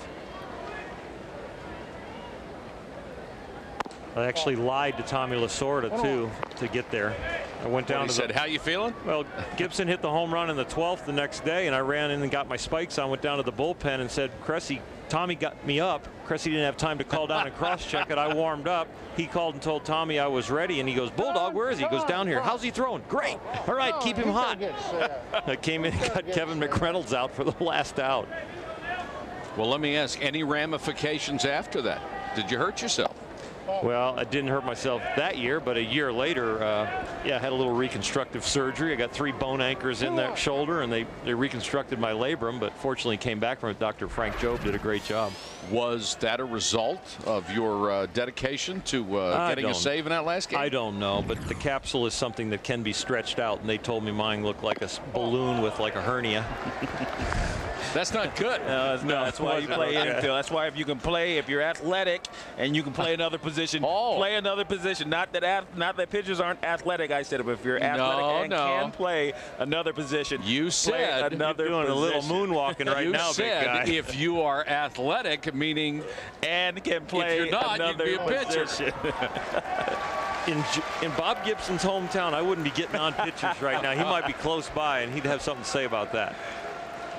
Let's get down to Erin Andrews. Erin. Mike, just to add on what you guys were talking about with Andrew Carignan, how long he can go. It's funny, during that last half inning, Pat Casey got his team together in the dugout and told them, look, let's continue to stay lo- loose and let's remember who we have on the mound right now. We're facing a closer. He can't go that long, so let's stretch it out. Let's make him tired out there.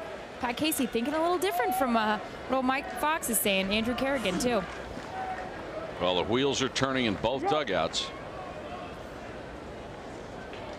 Well, if you try to see a lot of pitches against the starter to get the middle relievers so that the middle reliever can't set up the closer, if the closer's in this early, you're going to try and wear him down and see a few pitches also.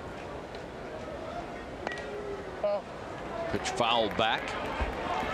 Tell you what, you got a closer on the mound throwing 94, and you're going up there and saying, listen, this might be my only opportunity to get a ball I can hammer, a ball that I can hit. So, you know, I, I don't know about these guys, but I didn't like hitting 0-2 or behind in the in the count with a guy that's got Carignan's kind of stuff. So is that the kind of strategy that came from a manager and went one in one ear out the other? Got to be realistic, you know. it sounds good. Propaganda is propaganda, man. Oh. When you're in there battling, it, it you you got to do what you got to do in order to be successful. And taking pitches against a guy that's got 95 and you know with a snapdragon and a tremendous slider, and you just you just that, that's just not practical. How about bunting somebody with 95 like they were asking Darwin Barney right here? Well, we saw Mitch Canham try to do it as well, and it, that's not easy to do either. First and second, nobody out. The heart of the order, the heart of this ball club. As you get Lissman, Canham, and Barney up, first two have reached, hit by a pitch and a base on balls. And John Wallace on deck. Coincidence when Oklahoma State finally fell behind for the first time in the tournament, but it, no coincidence that the rally was started by Canham and Barney right away. Oregon State. If I say Oklahoma, Yes. I'm getting tired. We've been here a long time. Low. Two one. Two balls and a strike. Wooten is in the North Carolina bullpen. They have to go somewhere else than Carignan. He came on in the second. Go. Come on. In the box.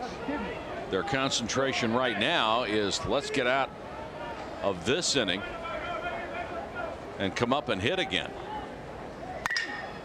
Chopped up the middle could be two to second for one on to first double play.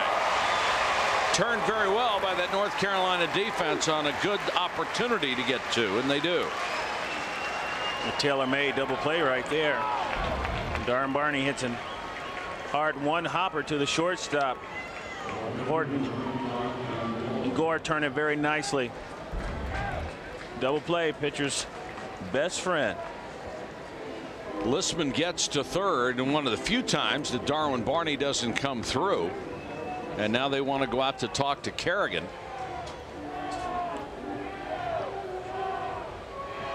I mean, they're walking a fine line here. Do they want to get him out and go to somebody else and perhaps have a chance at bringing him back tomorrow?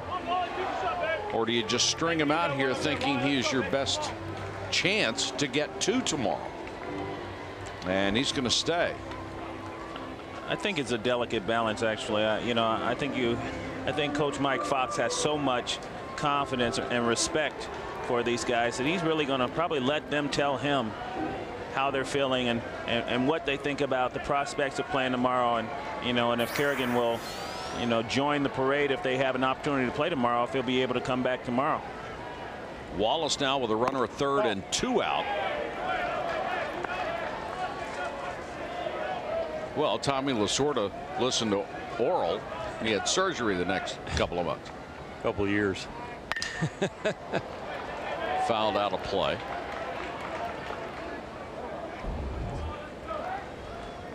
Now something went on right there as far as the bunt and the sig sing signals and might have looked through it, might have disregarded it. Somebody missed something. And most of the times that situation that was probably a bunt a bunt signal that uh, that was missed right there. This one is lined to left base hit that'll get a run home. Wallace with the base hit.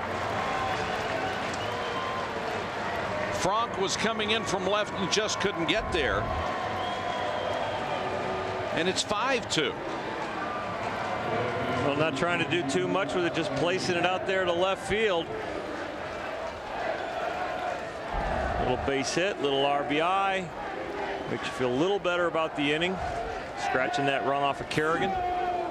Wallace drives in Lissman, and it is now a four to one situation in favor of Oregon State with the win probability statistic and the score five to two leaving it up to Santschi with two outs and a runner on.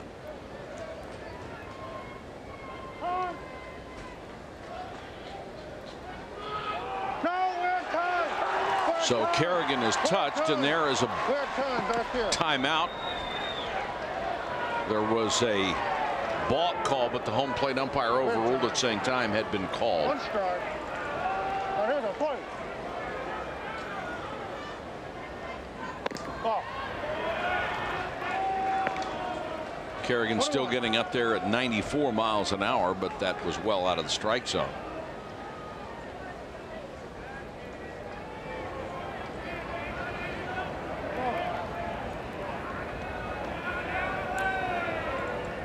Oh, what signs do you look for from from Carignan now to say, okay, maybe this guy's getting a little tired and you can't. Uh, what do you look for from a pitcher? Well, the ball, first of all, usually elevated.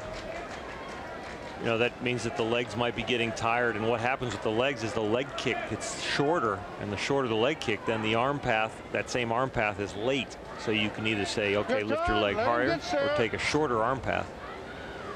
And every pitcher has a hump inning, usually as far as fatigue comes in. And Carignan's not used to going through those hump innings when all of a sudden your energy levels change because being a closer, most of his outings are within his full burst. 52 pitches so far for Andrew Carignan, the All-American oh. closer. 53 is out of the strike zone, and it's three and one to Scott Santschi out of Vancouver, Washington. Well, it's important for Carignan to try and get through this inning. He might be able to squeak another inning out of himself. They come in, get a few runs. That gives him a little adrenaline. Mike Fox decides to leave him in, and that extra inning of getting a zero out of him next inning could be huge in this game. Strike call. So he's on the bubble of coming out of the game right here. You know, he gives up another hit or this inning spirals away from him. But it could be the difference between him finishing this inning or actually going another inning in a third. He has three saves in the College World Series. This one's hit right back up the middle for a base hit. Three saves in the series, five career in the College World Series. That's how successful he has been here, tying the record of the great Huston Street. Of course, this is not a save situation. He is on trying to save their lives as far as the College World Series. And this ball is a shot back up the box. Yeah, he's lucky that that ball, I don't know if it hit him in the leg or not, but to see a two-seamer, and it was a shot right back up the middle. Santschi did a nice job of hitting right back up the middle. Very nice job right there. And, you know, we start seeing some of the, uh, the signs of him getting tired. And maybe a ball out over the, uh, over the plate. Back-to-back -back singles for Wallace and Santschi. Runners at first and third for Lennerton. He's 0 for 2, grounded into a double play and hit a fly ball to center field for an out. Still hitting 313 on the season. Ball. That one's outside. A ball and a strike. It is 5-2 Oregon State. Every time North Carolina makes even a little bit of a move, Oregon State has found a way to answer. And they've had the answer to everybody since the end of the regular season. A season in which they barely got into the field of 64.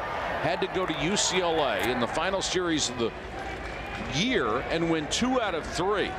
And they knew it in advance. If they not if they weren't going to win two out of three at UCLA, they could expect to be at home even as the defending champions. But the fact that they were the defenders and they had played such a great early season schedule helped them get in. They had a Pac-10 record of 10 and 14. Nobody has ever had a sub 500 record in their conference and won the College World Series. But then Oregon State has had a number of firsts in the last couple of years. And the Zestos milkshakes have arrived. Mm -mm.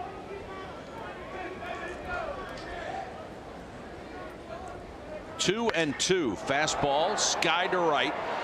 Deep but not deep enough into that Sunfield. And fighting it off is Fedroff to make the catch.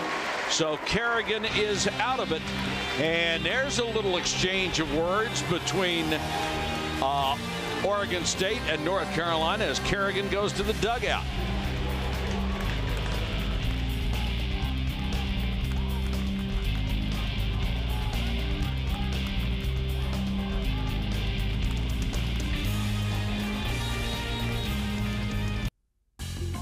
Slugs this one down the left field line and clears the wall for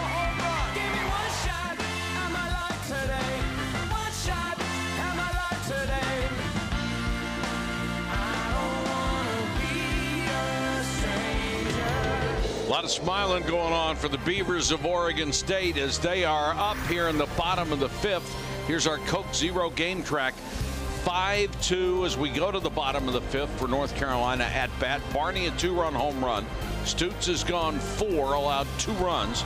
Putkonen only went one and two-thirds and was roughed up early. Concentrating already. A Beaver baby with an eye on the field in the bottom of the fifth.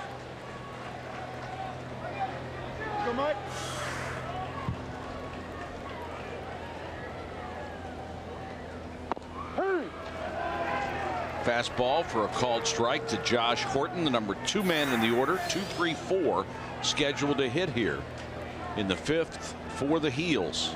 They have to win today to force the rubber game tomorrow. Horton has two singles and is now 10 for 25 in the College World Series.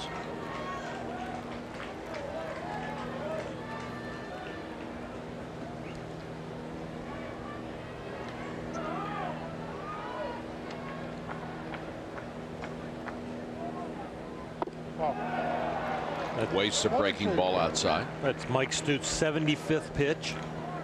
It's a lot of pitches for somebody who's only struck out four people. Still only has recorded four innings of outs.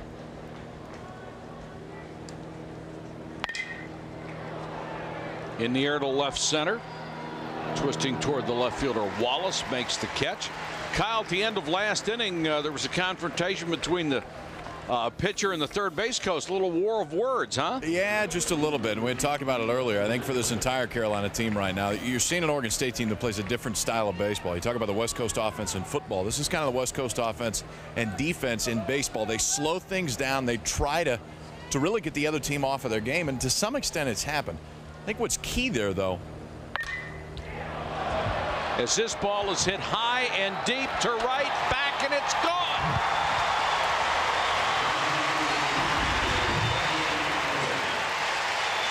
Dustin Ackley turned on one and ripped it into the stands. It's 5-3.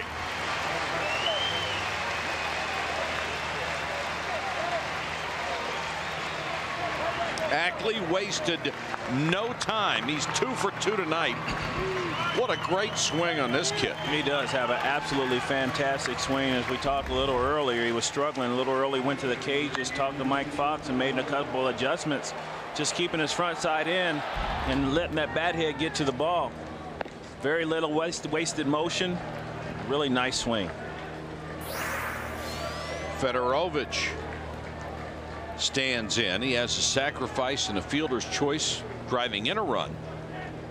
But still only two hits in Omaha in 24 trips.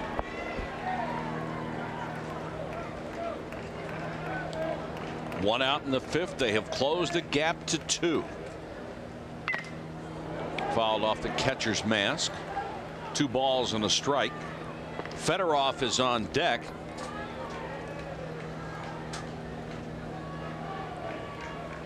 Sounds like the Russian national team. You've got Federowicz and then Fedroff.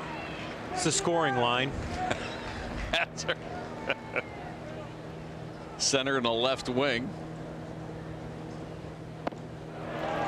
Curveball got him. Two balls, two strikes. Well, Mike Stutes is battling out there. He had a so-so outing against Arizona State and garnered a win today. He's really battling through this one too. He's fought control problems. He's been almost effectively wild. But remember, every Oregon State starter has gone six plus innings in this championship. So they have got some starting pitching. Even if it doesn't with their best stuff, they've battled through. Federowicz spoiled that last one to stay alive at two and two.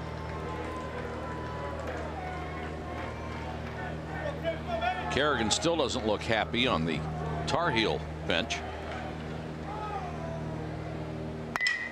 Breaking pitch hit towards short. Barney gobbles up another one and throws him out.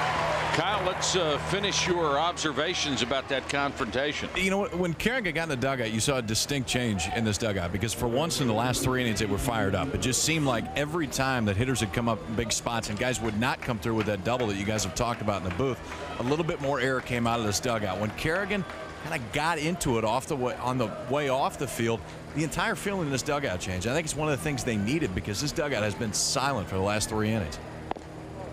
Well, obviously they need something, and they should have gotten a little boost from Ackley's shot. That always gives you hope. Certainly it does, but that, that's the reason Mike Fox put Carignan in the game.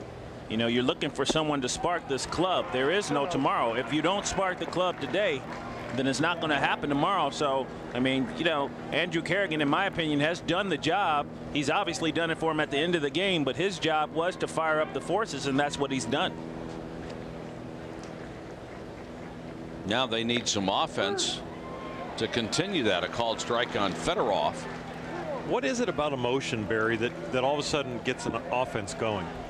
Well, you know, everybody gets goes. You're out there grinding. Of course, you're grinding, but you know, I think it's about every. We talked about winning every single pitch, and that, you know, you you, you kind of have to really focus on. As Fedroff singles to right. You have to focus on every single pitch, and you know, during the course of the game, if you're losing a little bit and, and maybe you're, you know, you're getting beaten, you're starting to feel sorry for yourself a little bit, then all of a sudden it's not every single pitch, it's every at bat or every out. Well, when you the emotions come back in, you refocus and you say, hey, listen, you know, I don't care. He is not going to beat me on any pitch. That means even if I'm going to take a ball, then I'm going to take it in a position where I could have hit it. Or if I'm going to make a play, I'm going to make that play as best I can. It's just focus. Here's Seth Williams, who was tied for second on the club with nine home runs, has driven in 42, hasn't shown much out here except for one home run. Only four hits in 22 at bats, two fly ball outs today.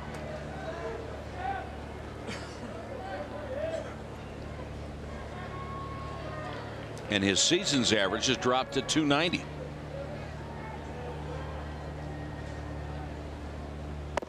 Know, I love hearing Barry talk about the emotion of the game and what it changes in a dugout because big league players get picked on so much about concentration. You know, if you make that much money, you're, you should be concentrating every pitch, but they're still human beings. Well, money has really nothing to do with it. It's your personality.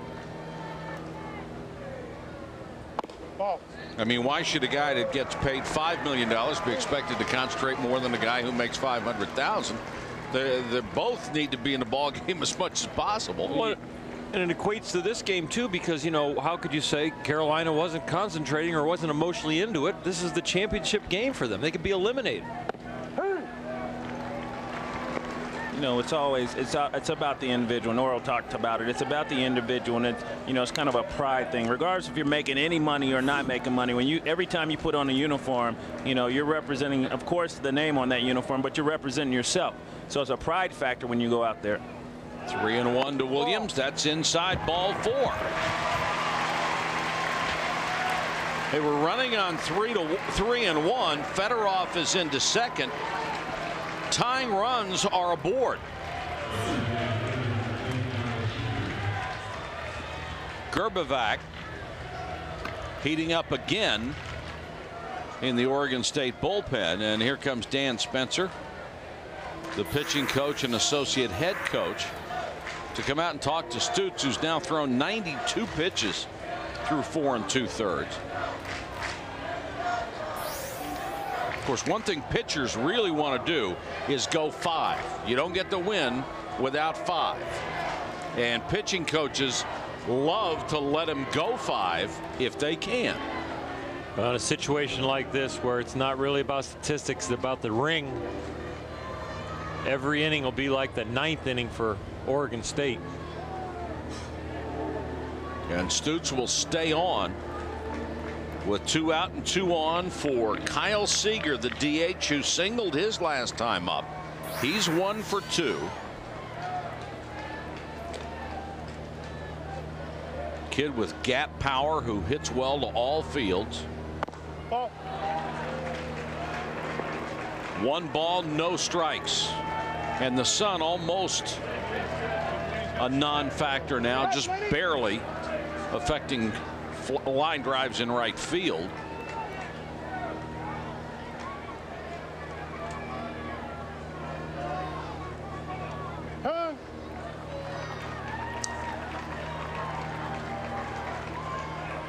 This is that rally that North Carolina has not finished off. This one started late with two outs, but this is the key hit that they've been looking for for a long time.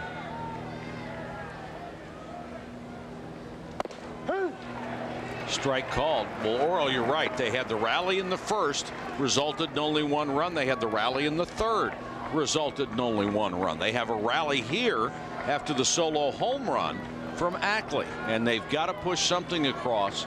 A big inning is a key for them to stay alive here. Ball. Two balls and a strike. Boy, and you just know Stutes is on the shortest of leashes right now. There's a lot of hope in his pitches right now. He's not really attacking and saying, I'm going to get you out. He's hoping to get the hitters out.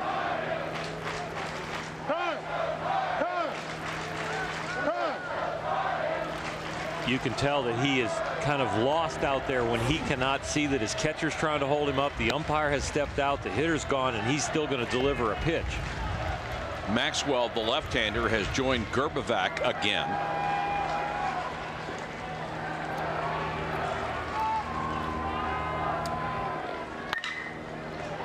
Down to first. Lennerton will make the play unassisted. They're out of another jam. We've played five full. It is 5-3. The third run coming on Dustin Ackley's home run deep into the stands in right.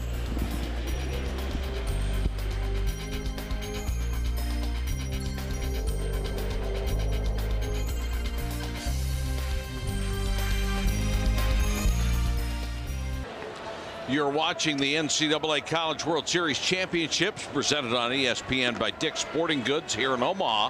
Over on ESPN at Sunday Night Baseball, where the Detroit Tigers are nothing nothing in the fifth against the Atlanta Braves at Turner Field. Andrew Miller at bat and pitching for the Tigers tonight. Detroit 2 0 in the series going into the rubber game this evening. Miller, the star for North Carolina a year ago, and this is the star closer Andrew Carignan who came on in the second inning tonight. Has gone three and third allowed two runs. And the two runs the margin in this game it's 5-3 Lechelt will lead it off in the Oregon State sixth. If they win they win back-to-back NCAA championships. In a year where anyone outside of Corvallis did not expect them to be any kind of a contender for a national championship. And that one hits Lechelt.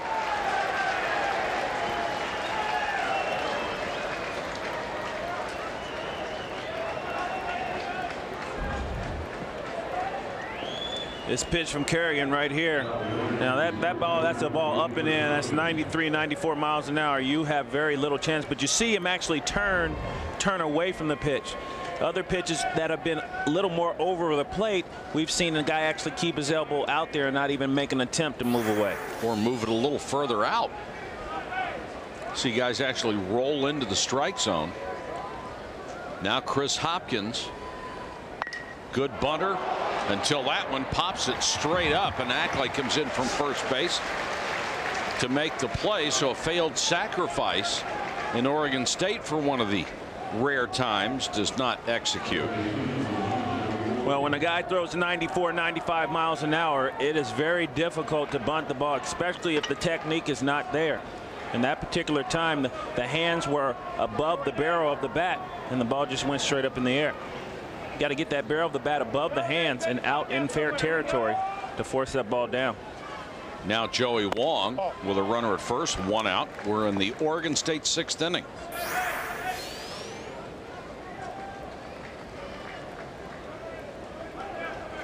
I want to thank our producer Scott Matthews and our director Scott Johnson for a brilliant job that they have done out here for nearly two weeks.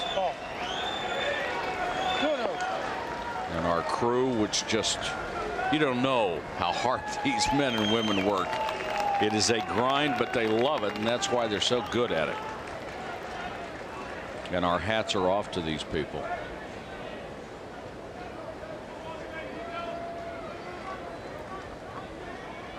Way to go, Kent.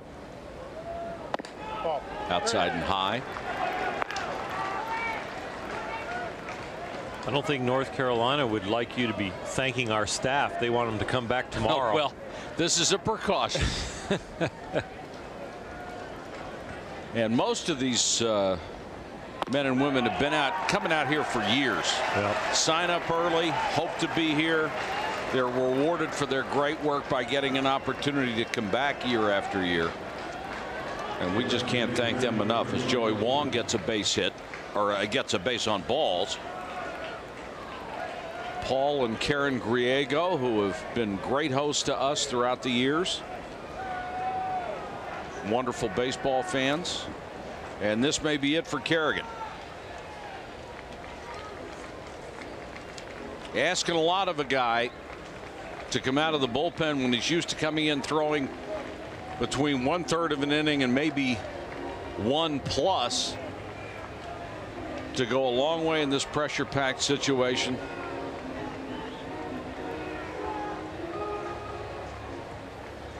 It's already equaled his the longest outing of his career. And there's the signal Carignan will be done.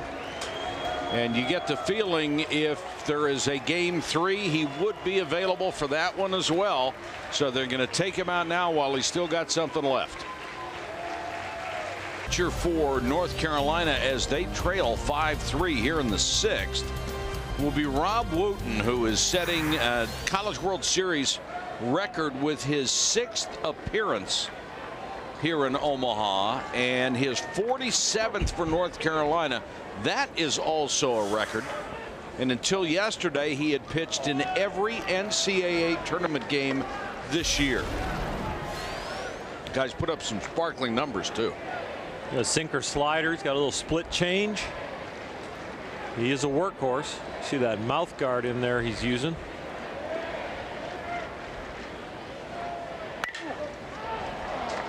Lissman pops it up. Two outs. Carignan done. Closer came on, gave up a couple of runs out of the bullpen. Three and two thirds. Four hits, a couple of runs, struck out three, struck out two and walked three. Not his sharpest outing, but then under unusual circumstances. Well, he's been pitching a lot lately, but the thing that he did do is come in and say, listen, guys, we are not finished. You know, we still have an opportunity. We we still have a, a fight in us, and he showed some fight when he was coming off the coming off the mound uh, that last inning. You know, yelling at the third base coach uh, about whatever it is they were going back and forth about. So, you know, his job as a leader on this team is to incite the guys and you know set the precedent and set the standard. He's done that quite well. You just saw a, a glimpse of Woodard warming up in the hmm. Carolina bullpen, one of their outstanding starters. So they'll go as deep in that pen as they need to to try to force a game three.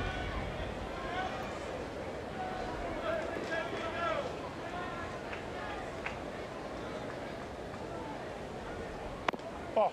Canham singled twice and hmm. walked tonight. This is a huge at bat right here because two runs is nothing for the Carolina offense. But if Canham can get a big hit and score two here, even pop one out of here, all of a sudden the game gets out of reach again. So.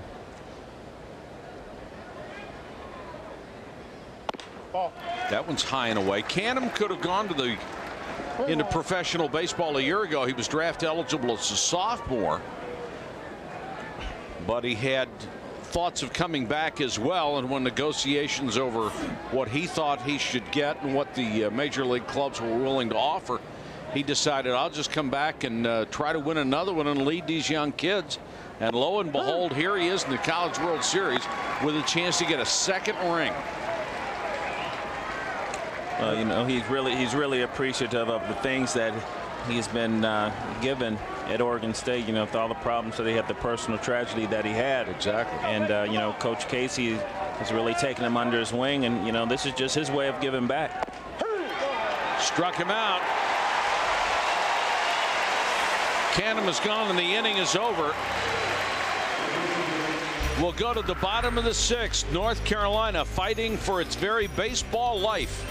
Down by two, and Carignan cheering them on.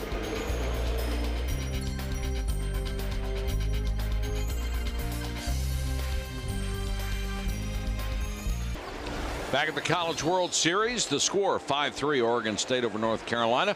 Bottom of the sixth, here's Erin. Mike, head coach Pat Casey told me he still wants Mike Stutes out on the mound for Oregon State. He said these re the reasons why these next two hitters in Chad Flack and Garrett Gore, he said they're 0 for 4 against Stutes so far tonight. He said he still thinks he's throwing good stuff, but like men Mike mentioned earlier, he's on a very short leash. Hey guys, how are those milkshakes up there, huh? Those are sharing. delicious, Erin. you can have what's left. We'll send that down. Be fine. You don't look like you've ever had a milkshake, Erin.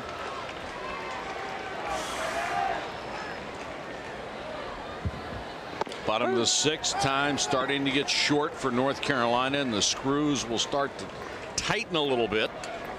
Flack, Gore and Fronk to hit here in the Tar Heel sixth. You know, North Carolina has consistently played from behind uh, this entire postseason. Uh, we saw it even in their in their regional tournament. Um, but you know, when you get to the late in late third of the game like we are right now, eh, people have a tendency to kind of uh, try a little harder. And, and when you do try a little harder, it is so much tougher to be successful. The grip on the bat gets a little tighter.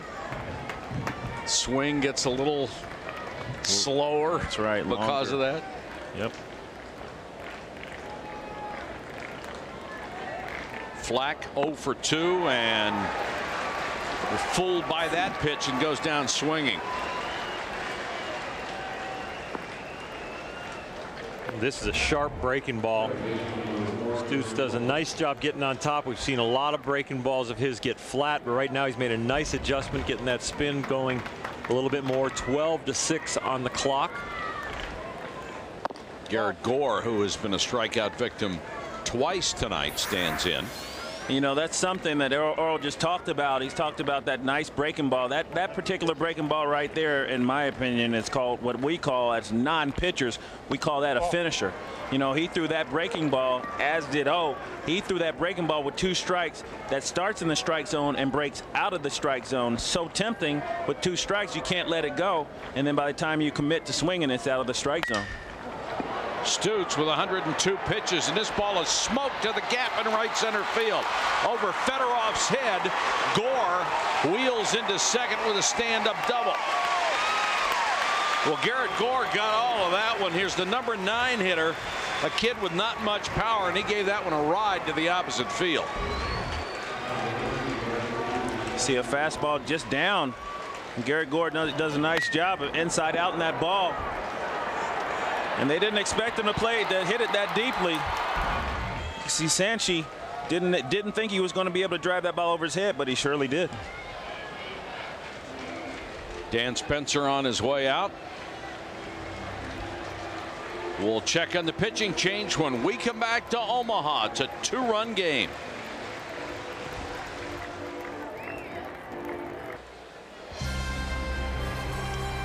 Back at the College World Series presented on ESPN by Dick's Sporting Goods. Glad you could join us for game two of the finals. And if Oregon State wins, it's over. If North Carolina wins, we go to game three tomorrow night at 7 Eastern. And here's the exchange from one pitcher to another, a little different than you would see in Major League Baseball. Little cultural difference, pitcher to pitcher instead of pitcher to manager, manager to pitcher. Possibly do kind of remove the emotions that are running through these young men's bodies when they get taken out of a game? Well, I don't know Give about it to your these. teammate. yeah, I don't know about these young men, but I've seen Lou Piniella come to the mound with Norm Charlton or Rob Dibble or Randy Myers, the nasty boys, out there on the mound and ask for that ball, and they almost knocked his arm off giving him the ball. They were so mad that they took him out. So I think there's definitely some reason why they are not handing that ball to that manager. Maxwell will come on for Stutes. Maxwell hasn't been in a ball game since June 2nd. 5'9", 180 pound senior, and he'll face Reid Fronk.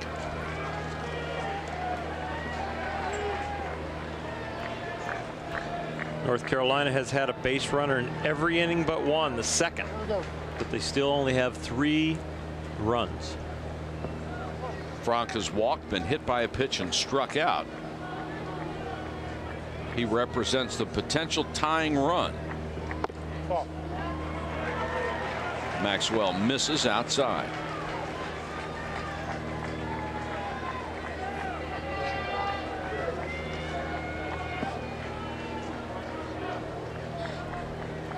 Lefty against lefty in this situation. And plenty of arms ready in that Oregon State bullpen. Got a fastball in on him at 88. The fundamentals of getting big hits is something the Heels have been unable to do. Three for their last 31 with runners in scoring position. That's under 100 for a batting average in those clutch situations.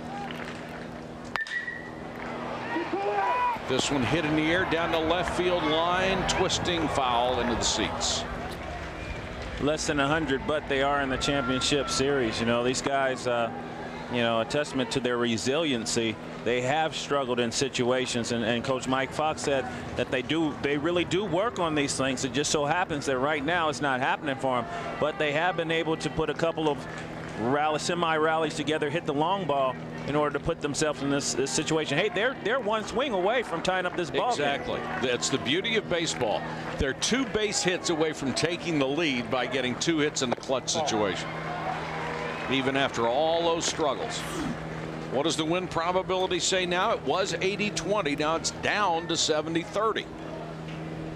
As the Heels cut a three-run lead to two, have a runner in scoring position here with one out. Two balls and two strikes to Fronk. Would that be down to 70-30 or up? I Down. Guess, I guess it's, I guess it's which uh, which side you're looking at it from, right? Good point. Fouled out of play again. Up for North Carolina, That's down right. for Oregon State. Right, that's right. Fronk takes a big breath. Mike Fox in this situation last year when he had the hammer won the first game and then saw Oregon State come back to take the next two. Now he's trying to do the same thing to the Beavers. In the air, straightaway right. Santschi makes the catch. Gore tags and will make it to third easily. But two out.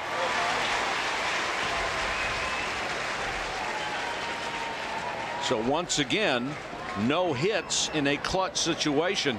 And now it's up to Horton here in the bottom of the sixth with two outs.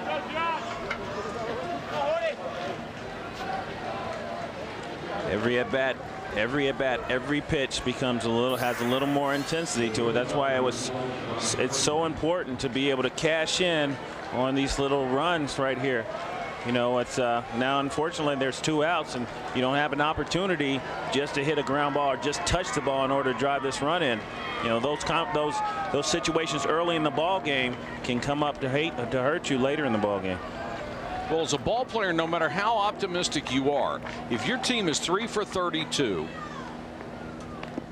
and he hit him, if your team is three for 32 in clutch situations, people that don't have a bat in their hands and even the guys that are hitting are sitting there saying, oh, well, how are we going to mess this up? You know, what are we going to do to kill this route?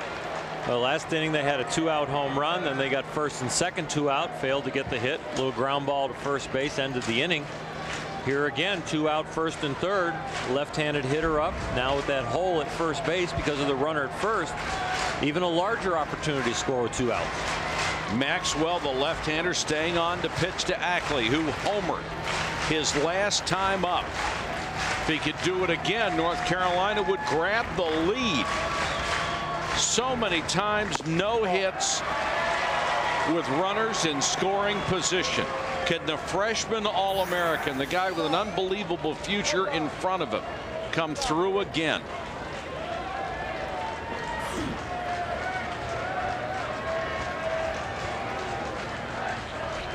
That's Federowicz on deck. But Ackley is the key guy. You just get the feeling it's up to him. Low fastball. Last time up, smoked it. Very Boy. little weights. They're very little. Uh, yeah. Very little movement in his swing. Just very efficient right to the ball. He's in a very good count right now. He's seen some good pitches. 2 and 0. Line. But caught right at John Wallace and left. Ackley hit it on the nose. But Carolina's rally is wasted again. End of six. Two run ball game.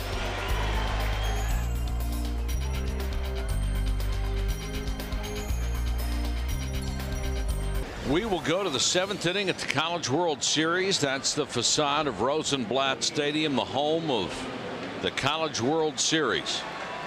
The shrine of this game where Oregon State is leading North Carolina 5 to 3. Darwin Barney from Beaverton, Oregon will lead it off. Oregon State trying to win back-to-back national championships. Barney's two-run homer is the difference in this ball game. First time up a line drive to left.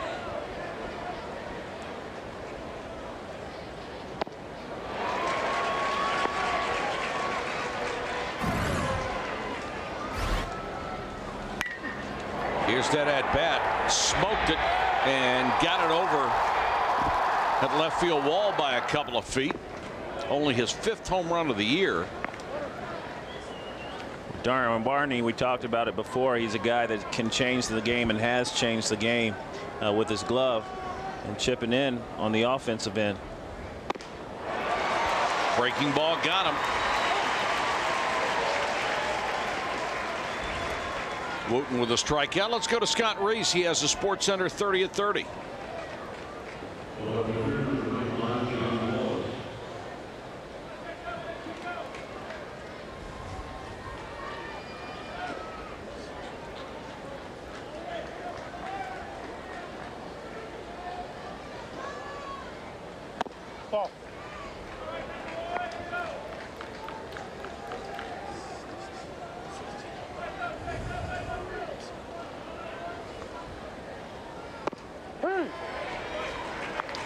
Thank you, Scott. Was watching uh, the updates on McGowan's bid for a no hitter.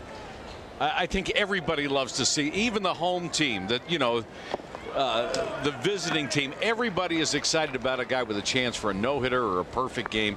You just love to see people accomplish the unusual, and baseball is such a great stage for it. Yeah, were you there in Cincinnati when Tom Browning had his? Yes. Were you playing shortstop for yes, that one? Yes, I was. Yes, the perfect game. Perfect game. Yes, yeah. it was a perfect game. If that was against the Dodgers. Yeah, it was against the Dodger. Belcher. This ball down in the corner and off the wall, and it gets away from Fedroff. Wallace is on his way to third with a triple.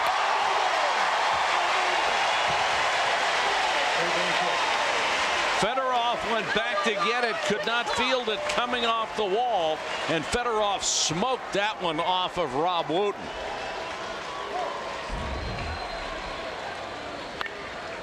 Wallace gets a pitch in a little bit and bangs it off that right field wall. And you see, was it a breaking ball? And you can see him when he sees that ball off the wall, he's thinking three bags. And he can run pretty good right there.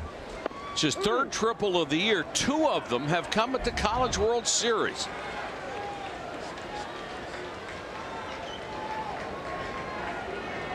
Triples are lots of fun, but they're lots of work too. You're a little gassed when you get to third. Yeah. Now Wooten, his job is to prevent that guy from getting in from third with only one out, and he's facing Santschi. The infield comes in to cut off the run. You got to take a shot right here to try and strike him out with an 0-2 count. Oh. Tries a fastball outside, missed. Or as a pitcher, or are you trying to do something different with the ball when the infielder's in as opposed to regular when the infield's back in this situation? Chopped over the head of the second baseman, Garrett Gore. And that's where having the infield in can get you in trouble. A routine ground ball that otherwise is an easy out, goes for a base hit and drives in a run. Well, he got what he wanted. He got the ground ball. He kept the ball down. Got him to top it, but he topped it a little too strongly off the dirt there. Whoa, I think it hit the seam between the grass and the dirt to get that kind of kick. Because that wasn't chopped right in front of the plate. That's a big run nonetheless for Oregon State. 6-3, and Lennerton comes up. Every run makes it just that much tougher for North Carolina to mount a comeback, especially considering the problems they have had with getting hits in the clutch. And the win probability has leaped to 9 to 1. Nice bunt down the third baseline. Pitcher throws, throws it away. Wooten throws it into right field. Runners at second and third. And at critical times, the North Carolina pitchers have been their own worst enemies. That's three of those plays in two nights. Uh, Tyler Trice threw a couple balls away yesterday. Gets off the mound real well on this bunt. Really doesn't have plenty of time, but it's still a routine play. Just launches that. That was bad footwork as far as his weight shift. He didn't crow hop towards first base. He just kind of eased into picking up the ball. He should have hustled a little farther and then had some momentum on his throw, but he hung back on that back leg and threw it into right field. And those are the small fundamental things. I mean, you, you, you talk about a, a ball that rolls 15 feet. And, you know, it changes everything. If you can't make that play and you consistently don't make that play, you're putting too much pressure on your team.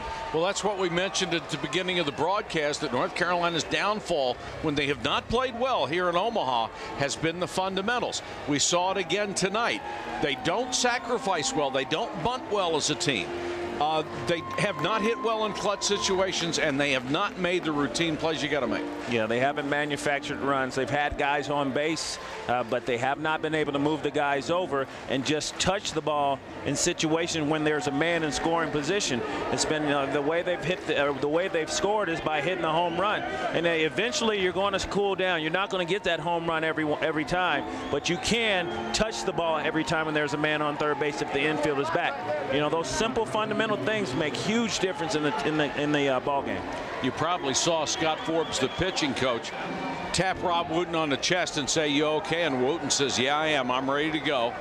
This guy's a veteran pitcher and a really good one. He's, he's in a huge jam now. Big jam and made a huge impact on their program for the three years he's been there. Oh.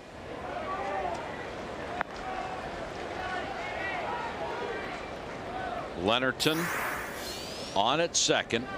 Santschi is at third, and Lechelt, the number nine hitter, still looking for his first hit tonight.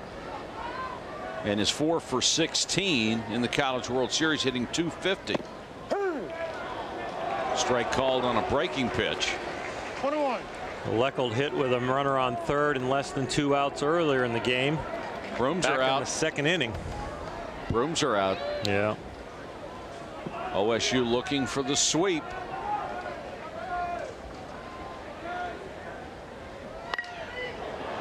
Bunt out in front. Not a suicide squeeze. And that time, Wooten left no doubt, picked it up and rifled a strike to the first baseman. That's the second out. I think that's a missed squeeze signed by the runner or something. It's like, where's the runner? Yeah. Got the bunt down. Well, it was not a suicide squeeze. Yep. You get the feeling that it was supposed to be. Well, there was a cross up when Darwin Barney hit earlier. Yes. We saw Pat Casey's reaction. Now we've got a cross up and another signal right there. And Lechelt is saying, I saw the squeeze sign. I did my part, didn't I? I tell you, I, am telling you, man, when the game gets down to the end like this and, and the championship is on the line, it becomes so much tougher to do the things that you've just taken for granted throughout the season. Little check swing back up the middle. Gore behind second. Can't make a play. Actually, the, the first baseman wasn't there in order for Gore to throw the ball. Ackley came in Became and, a spectator. And I oh. don't know what happened, but it looked like he came in like it was almost a bunt opportunity. And Garrett Gore made a great play to catch the ball behind the mound. He went to go throw the ball to first base, and there was nobody there. Sometimes your mind just freezes. And remember, Ackley was an outfielder before this year started, ended up with a sore arm. They had to move him into first base and oh. they said he's gotten comfortable but he came a little bit of a spectator there and got too far away from the bag. I tell you what I think happened there. I think he thought that ball was going to go to center field and he's the cutoff man to I home agree. plate. So it looked like he was running to be the cutoff man and then he saw that the second baseman caught it. So he got caught in between That's there. exactly what he was doing. But then he wasn't at first base and they're probably lucky that Gore didn't throw it and throw it in the dugout. That's right Holy cow. Talk about fundamentals. It is just coming apart.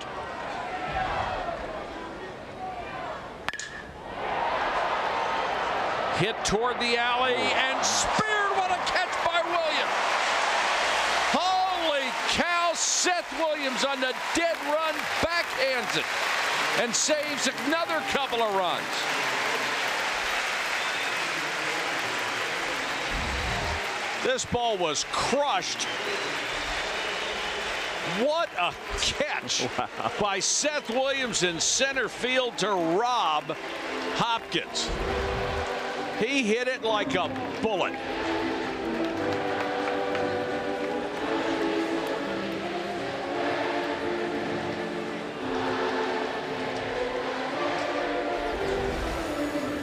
What an inning. It is 7-3 Oregon State. Let's go down to Erin Andrews. Well, Mike, Mitch Canham has played in the last three College World Series. Unfortunately, his mother never had the opportunity to see him play here. But this year, for the very first time, his grandparents made the trip from Oregon to Omaha, not only to watch their grandson play, but to remember his mother. My freshman year of college, I, I lost my mom uh, to a drug overdose. Kimmy Lee Canham. She was a very wonderful person. She was an outgoing person, like her son. We were all devastated by it. Uh, there's still a big hole in our lives because she's not there, and we all miss her. And it just, you know, it's one of the things you have to get through because it happened. And since then, it's uh, you know, it's been a, a challenge for me to to focus on baseball and stuff. But you know what? Uh, at, at, first it was a challenge, but now I, have learned to, to grow from it and to use it to help other people avoid situations that are going to lead down drug addiction and, and abuse like that. So this is the first year my grandparents are going to make it out from my mom's side. They didn't make it last year because it was a little emotional for them. I'm extremely proud of him. He took something that was bad and turned it really good for himself. He's done a lot of help for other individuals by going out and talking about this. He's got a big future ahead of him. I'm looking forward to watching him for many years to come. All of us face tragedies in life, and it's not so much how much you withdraw within yourself as how much you give to other people in reaction to those tragedies and what you do with the opportunities they may present. And obviously, this kid has done the best he possibly could. Mitch Canham, when I went up to Oregon, I, I, was talking to the guys about Mitch Canham, and he said he did have that personal tragedy, and he's used it as opportunities to talk to kids about drug abuse. There's a lot of outreach programs he's very much involved with. So he's just a wonderful guy, a great baseball player, but a guy that has taken a personal tragedy and making something positive out of it. Yeah, he's somebody uh, you just want to root for him, you know, heart and soul for uh, to have a great life. Cavasini will be the pinch hitter against Grbavac, who is on for the 28th time this year. Another good ERA on this Oregon State staff, 2.36. This is as deep a pitching as you can find, isn't it? They will keep coming at you. Cavasini, who had a great College World Series a year ago for North Carolina, has had an eye injury this year, been limited to pinch hitting duty, pinch running duty and play in center field. Can't get around on a fastball there at 90 from Grbavac. North Carolina errors four against OSU in two games have led to five unearned runs. And if they lose, that will be the difference.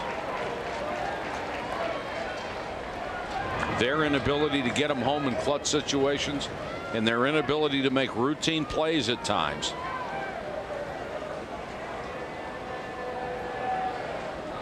They have left nine on through six innings tonight. Cavasini chops it down to first. One gone.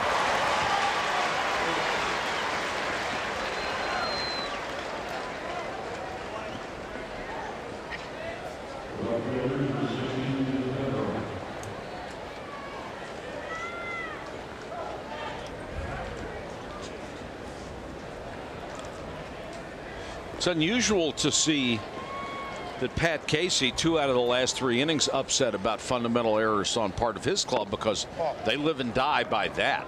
If they don't get the fundamentals done, they're toast. Yeah, definitely. They, you know, but but I tell you what, I mean, I I think that was a kind of communication, a couple of missed signs here and there.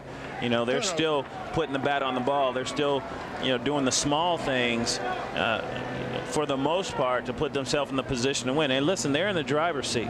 You know, they have the latitude to be able to make or be able to deal with a couple of mistakes. You know, they're winning seven to three. Now, if you're losing seven to three, every single every single mistake just becomes a huge, huge mistake. Chopped up the middle and through into center field.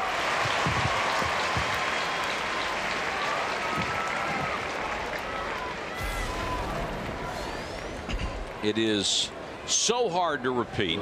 Texas lost in the regional last year. The 04 champion Cal State Fullerton made it to the super regional but lost. Rice lost in the regional after the 03 championship and Texas got to the College World Series but lost in the semifinals to Rice. And with more and more baseball programs having success and spreading out the talent, more teams get back here and it's even tougher to repeat. And especially if you're Oregon State, it's still a remarkable story. Uh, the Bruise brothers, LSU, came in here and hammered balls to win it 96 97. Stanford had back to back. USC 70, 71, 72, 73, 74. Our buddy Fred Lynn right in the middle of that. That was Coach Rod Dedeaux. Yes, it was. Pretty amazing program at that time. The great gentleman we lost a year ago.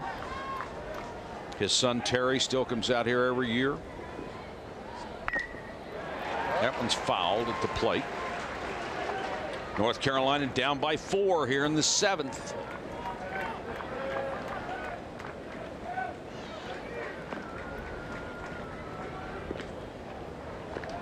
Or we talked to North Carolina. They said last year when they were in the driver's seat in this position in the middle of game two, they started counting outs. They thought they had it.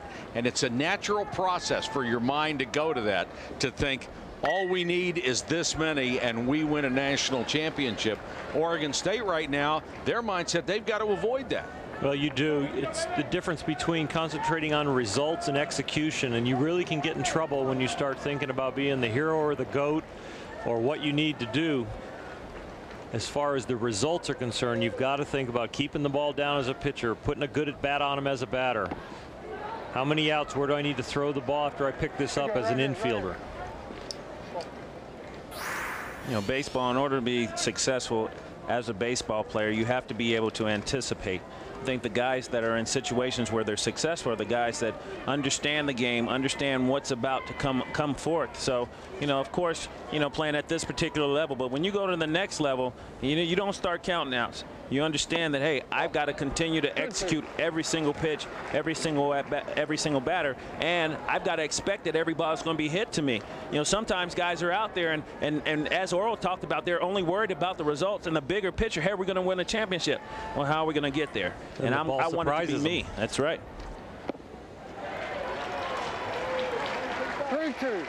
The higher Three you get balls up, and two strikes. the higher you get up in this game, the the more times you compete against somebody who has the same exact ability as you do.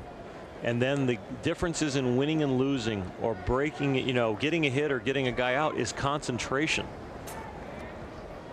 3 2 to Williams. Smoked. Fair ball down the left field line. Fedroff on his way to third. They're going to wave him home. Here's the throw to the plate. He is out.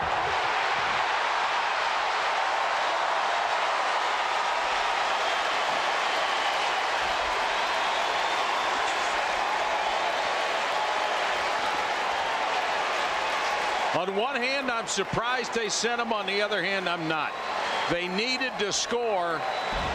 They don't get the big hits. This was one and a chance to get it home.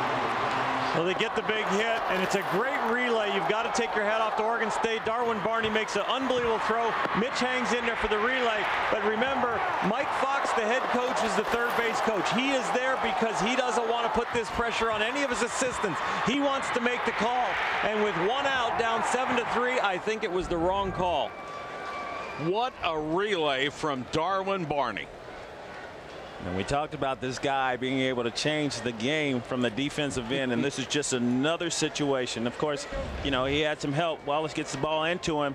Very nice job down the line, but here you go.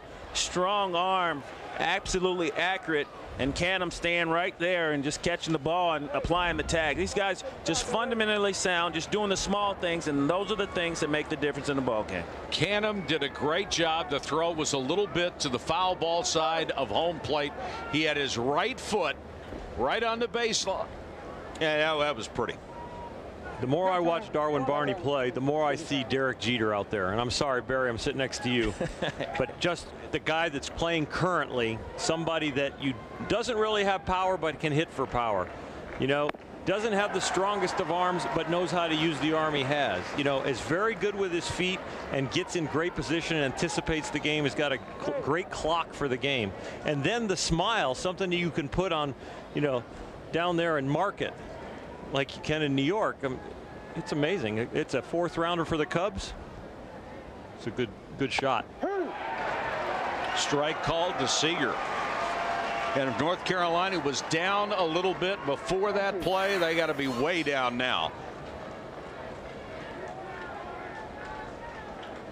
It's amazing on one play you can go from you know, the top of the mountain to the bottom of the valley. It's, it's just amazing the, the swings, the emotional swing. Struck him out. A single and a double in the inning and nothing to show for it. Great relay. Great tag. Good night.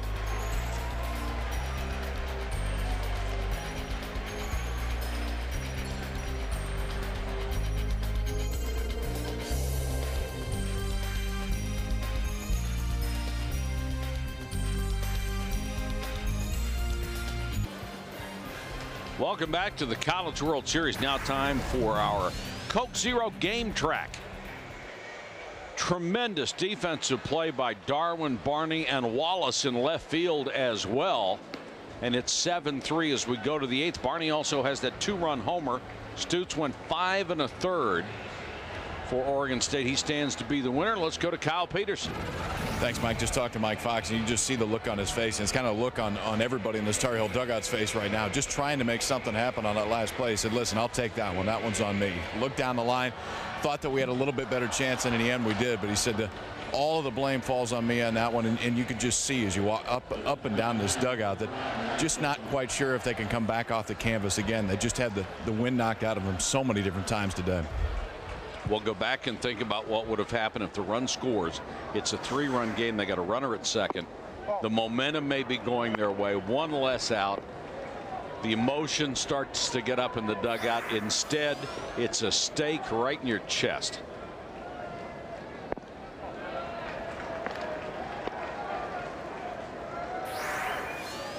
Mark Fleury is in to catch. In place of Federowicz.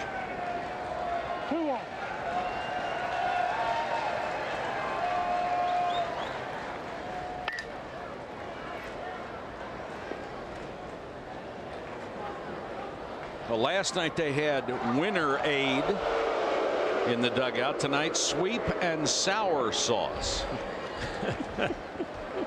Doesn't sound too appetizing. The thought's great, but I'm not sure it's a great marketing ploy. Yeah, I don't know if I'd be drinking that right there. two and two.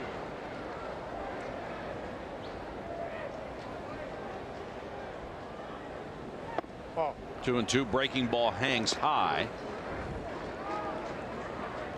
Joey Wong with a chance to hit here in the eighth. That got him on a curveball that did get in the zone. One gone in the eighth for Oregon State.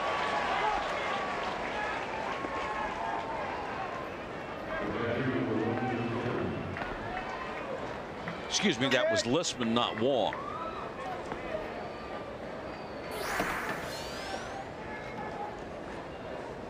This middle of the order has been outstanding right here, four through seven. Nine for 13 tonight. That's includes Mitch Canham, Darwin Barney, John Wallace, Scott Santschi. Darwin right there looking forward to his at bat. He just can't stop smiling, can he? Got another pitching change for North Carolina. Woodard will come on for the heels here in the eighth. Back at the College World Series, eighth inning, Oregon State batting here in the eighth, leading by four. And a new pitcher on Robert Woodard, the senior from Charlotte, North Carolina, the all-time career leader in wins for the Tar Heels of North Carolina. Oral 11 and 2 this year. He's a solid young man. He loves to compete. He's a strike thrower with good movement. You look at that face right there. He doesn't care what the scoreboard says. It's about getting outs right now. Somebody else going to have to take care of the offense. Canham and Darwin Barney, the two stars of this ball club, are next.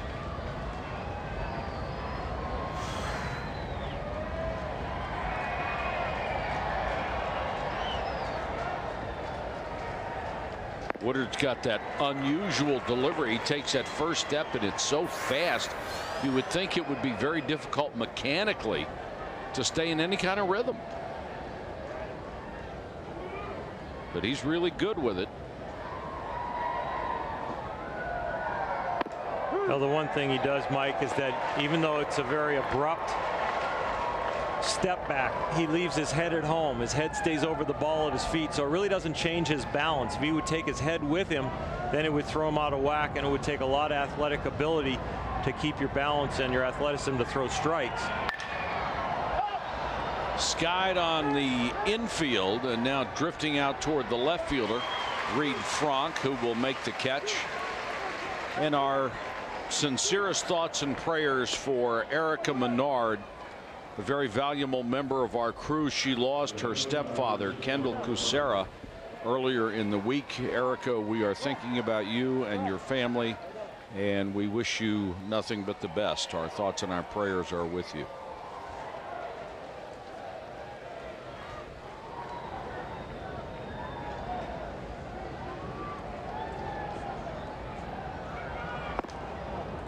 Barney takes up and in. Barry, when you're hitting off somebody with this kind of delivery, you just kind of nullify the leg kick and look for where the ball comes out. Yeah, you definitely have to take that out. It's much, much like hitting against a guy like Hideo Nomo, who has such a delay in his. Uh... Is it a catch in left field? It is not. It is a base hit. Reid Fronk took a couple of false steps back. I think one umpire called him out. The left field umpire called him safe. Fronk starts back, then sprints in. And he trapped it, it was on the good, short hop. Good call by the umpire there. Just doesn't get there, doesn't quite get there. Rarely do you see a ball go into a glove that way, too. Usually that's a complete miss. It just caught the thumb of the glove went into the webbing. Because his glove was up instead of down. Yeah, usually you see the outfielder come in and the, the webbing kind of gets turned under and the ball hits the ground and goes into the glove facing up. That one, the glove was still facing up and the glove, the ball just kind of caught the, the thumb. the ball caught the glove. Yeah. yeah. Second hit of the night for Darwin Barney. When you're hitting against a guy like Robert Woodard, you know, he has something different in his windup. You definitely don't want to look at that particular part of it because that throws you off. And I'm sure that's why he does it. Well, probably to help his mechanics. But you know, as a hitter, you're thinking the pitcher out there is out there trying to disrupt your momentum. So as a as a hitter, if someone has something a little quirky that they do, you nullify that by not even looking at it. I remember there are times when I was facing Hideo Nomo and he go through his windup and I start looking at the second baseman and start to pick him up when he's about to deliver the ball to the plate. Of course, he doesn't have that advantage out of the stretch.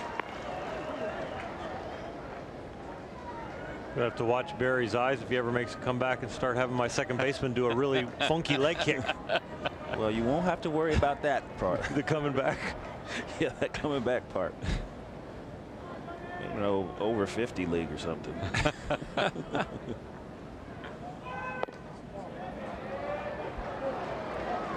I think that train may have left the station for both of you guys. Yeah, it was time for me to go, and I'm glad I made the decision. And uh, you know, it's just uh, it was just time to go. Body said, you know what, it's time to go. Well, you certainly had multiple opportunities as this ball is lofted to deep right and caught on the run. Fedroff with a sensational play in right that saves another run. So North Carolina trying to get it done in the field. What they need is some big at-bats. They only have six outs left to stay alive in the College World Series.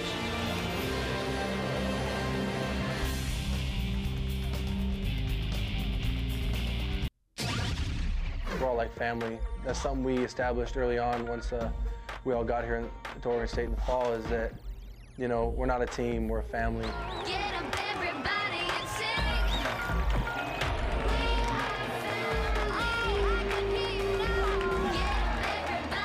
It's pretty special to bring everyone together and, you know, create that family atmosphere and that trust.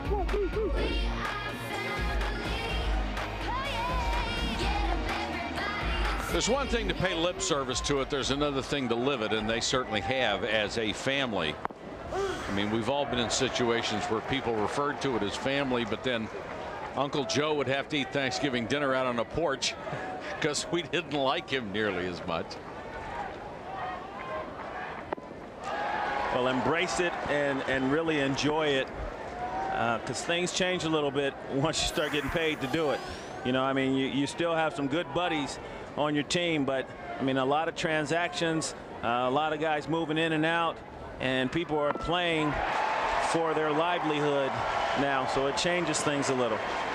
Chad Flack goes down swinging. Here's Erin. Well, Mike, the talk in Oregon State's dugout right now. Five outs until Corvallis. But that also means five outs until they say goodbye to guys like Mitch Canham and Darwin Barney. And Darwin told me before the game today he actually started thinking about it this morning. He said it was weird that he's not going to be back next year. He said told me he never had friendships like this before with his teammates and his coaches, and they've expressed the same sentiments to us all week long that this team would not be here right now without Mitch and Darwin Barney. Well, it'll probably tear him up a little bit inside, but it's something he will remember for the rest of his life, and that makes it worthwhile. Here's Garrett Gore. I don't think they're ready to go yet. Carolina trying to hang in there. This is they have been in the finals back to back years. They are so talented. They have worked so hard to get here and they have had so many bad things happen to them in the finals the last two years. But they were on a mission this year to come back and redeem themselves. Garrett Gore swings and misses. They'll have to throw him out. That's the second out of the inning and Grbavac has struck out the first two here in the eighth. You can keep up with the College World Series and every other championship sport offered by the NCAA by logging on to NCAAsports.com.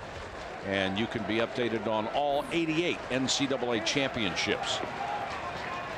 Gore is gone. We'll go back to the top of the order. And we got a little meeting on the hill. And it looks like Joe Paterson will be coming in. The lefty who we have seen before, who has been so effective Grbavac gets a great hand as he leaves with two out in the eighth. Back after this.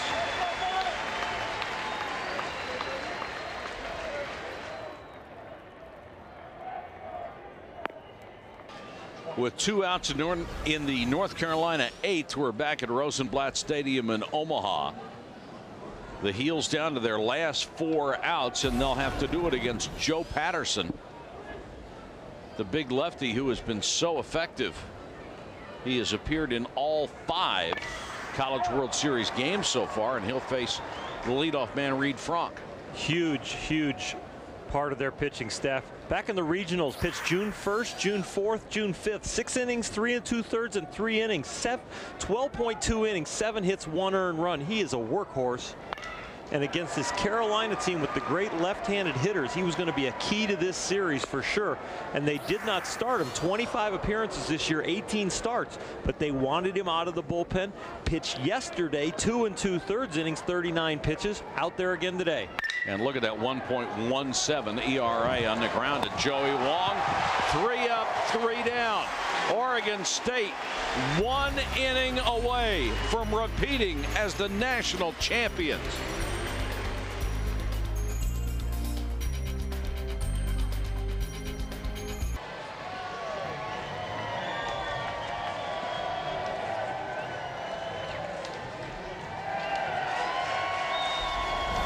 Now it's time here in Omaha for our Pontiac game-changing performance, and it's Darwin Barney.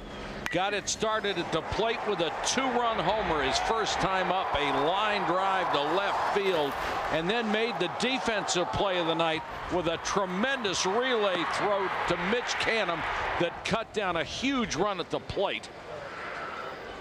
The do-it-all shortstop Bottom third of the order for Oregon State here in the ninth.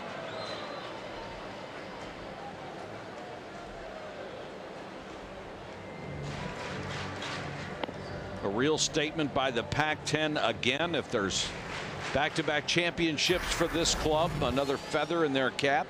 USC, of course, 12 national titles. Arizona State, five. Only one coming after they joined the Pac-10. Arizona State with three. California with two. Stanford with two. Oregon State could join the list at two in an inning from now. And Mitch Canham enjoying every second of it.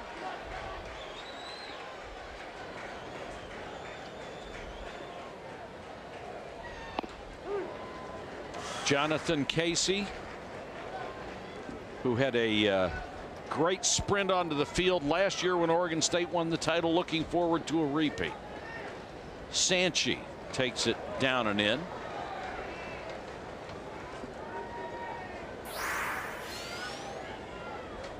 If you're Oregon State, sure you want to score. But really, you get the feeling you almost just want to get out of the way and get on to the bottom of the ninth.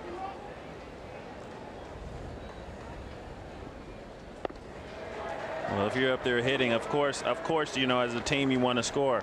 Uh, Santschi's up here. He's he's still battling, you know, and it, and it's a it's a philosophy every single pitch. That means keep the concentration there, guys, because we saw what happened last year with the guys across the across the field when you start thinking about the end result.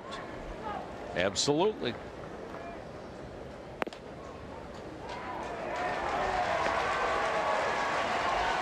Last year, it gave us one of the more touching moments in College World Series. Pat Casey's son John made his way down to the field after the final out of the championship game and had a memorable moment with his dad.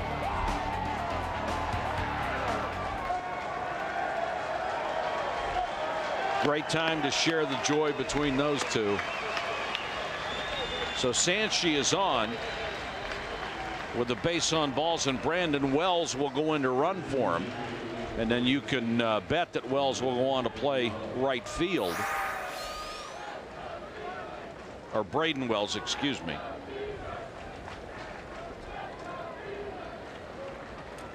And Lennerton stands in with a chance to do some more damage for the Beavers.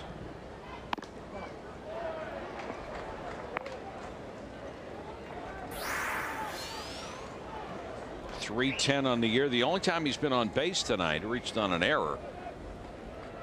But we saw his power last night hit a home run to right center that was a bomb. Staring intently down at the third base coaching box to see if something's going on and he squares the bunt takes it for a strike. Here's a guy who doesn't have much experience in this department. He sacrificed once this year.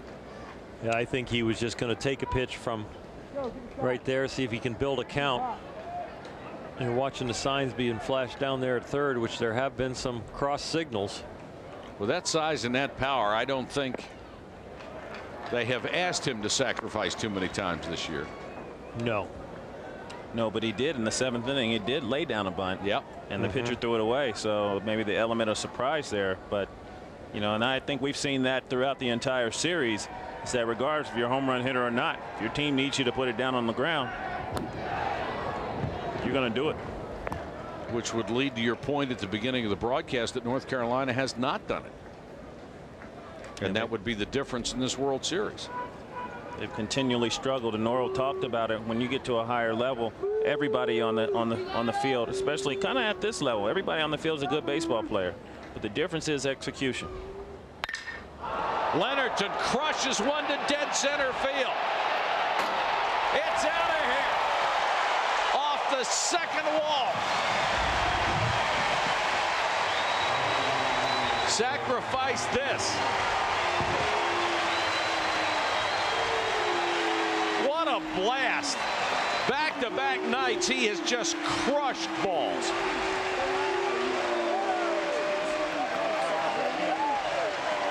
His nickname is Moose, and he's hearing it from the crowd. Jordan Lennerton just gets a fastball out over the plate, and he's not thinking, hey, this game is over. no, he, he had he had single-digit home runs before that swing right there.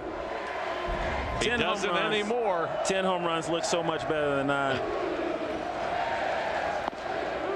And now it's nine to three. You want to check the win probability? That's going to be up there. How about 99? I'll bet.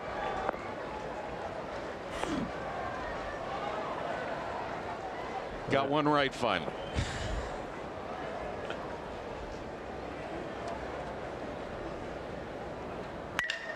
Lechelt. Good stab at third and throws him out.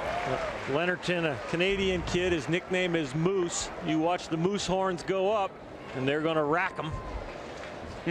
the whole team.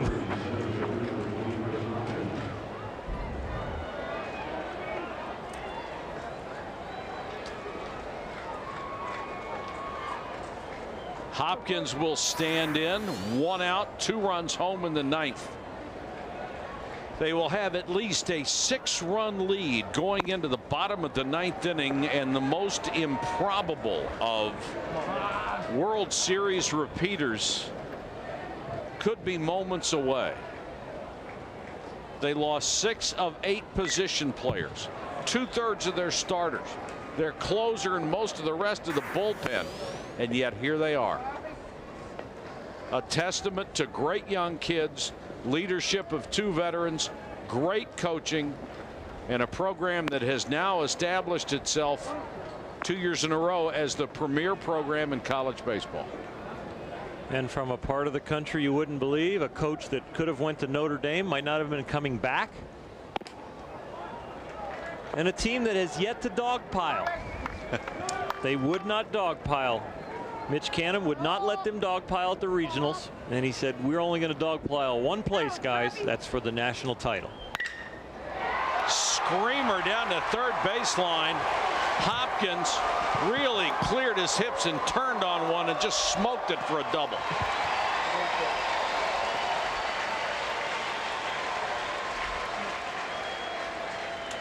If they hang on, they would be the first team in the history of college baseball to have a losing conference record and still go on to win a national championship. They were 10 and 14 in the Pac 10. Nobody expected to win here except them. And it was a question of whether they would even get in the 64 team field. All they needed to do was get in, and they have been on a tremendous roll ever since. And I would think that evidence would be that the selection committee did their job. Absolutely.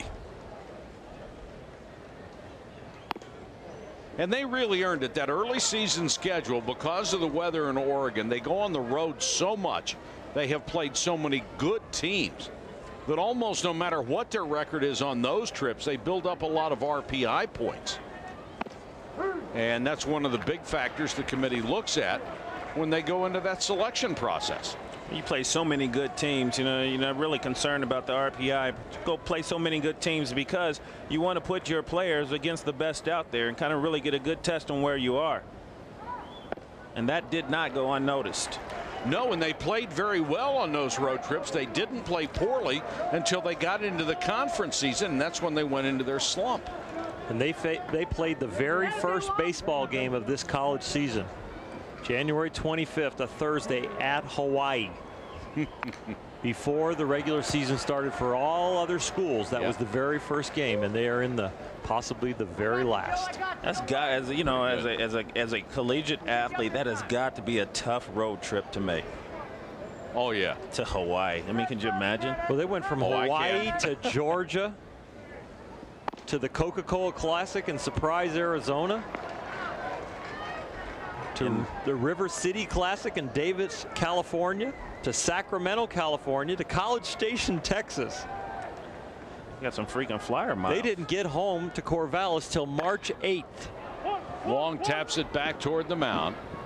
They'll throw him out at first for the second out of the inning. So Wong has gone to bring up Lissman, a runner at third. Glad you could join us for the College World Series. It has been terribly exciting out here for 10 days, and we are closing in on what could be the finish. Oregon State with a six run lead in the ninth. They are still batting North Carolina three outs away from failing the second year in a row in the finals.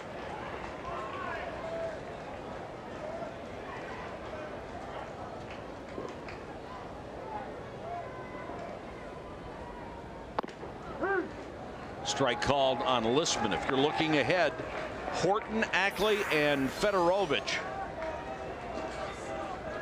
are set to hit. Excuse me, Federowicz has been replaced at the catching position. You would expect Benji Johnson to come on.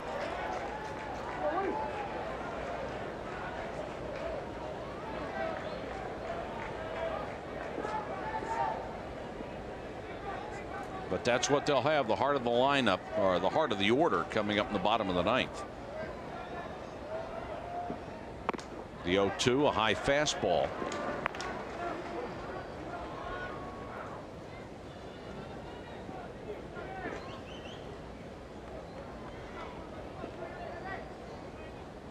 A ball and two strikes to Lissman. Pops it up on the infield. Ackley will make the catch. Will go to the bottom of the ninth. Last chance for the Heels. They are down six with three outs to go.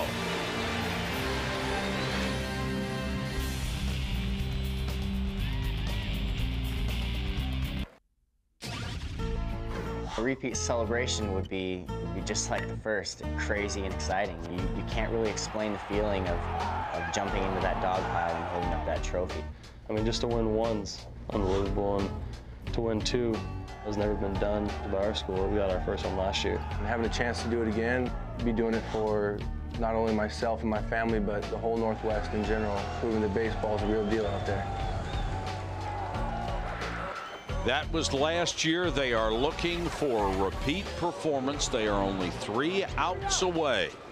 The Beavers up nine to three. Paterson is on with a chance to finish it. Josh Horton, the junior from Hillsborough, North Carolina, leads it off in the ninth.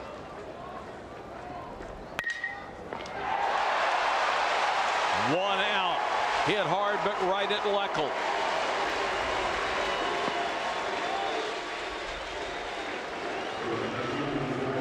Jonathan Casey.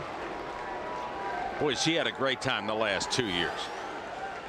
What a thrill ride for him. Nice to be associated with the winning team, isn't it? Ackley, who has a home run and another base hit tonight, also walked. Takes a crossfire, hits it right at Wong, almost ate him up. But this kid's got a great glove, and that's two out. Two hard hit balls, but two outs.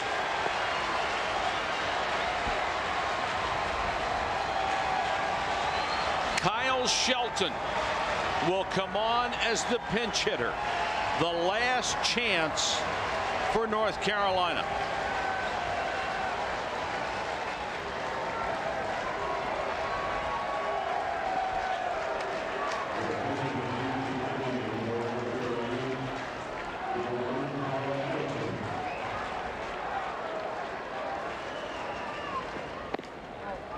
Ball one from Paterson.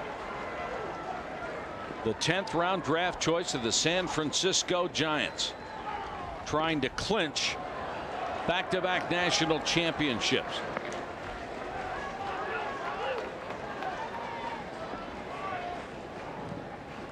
Pat Casey is pacing like a cat. Strike call.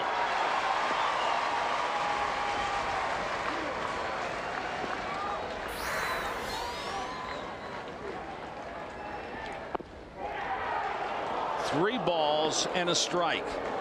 Fedroff would be next.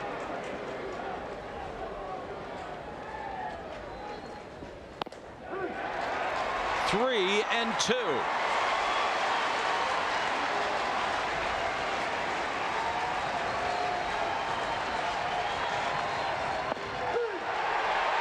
Strike three called. It's over. And the team that almost did not make the field of 64 has won it back to back.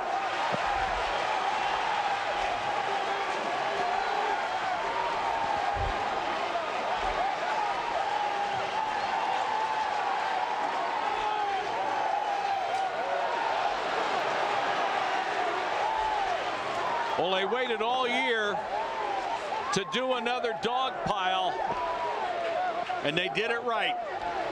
Yes, they did, man. That's that never gets old. I'm telling you, that's a wonderful feeling.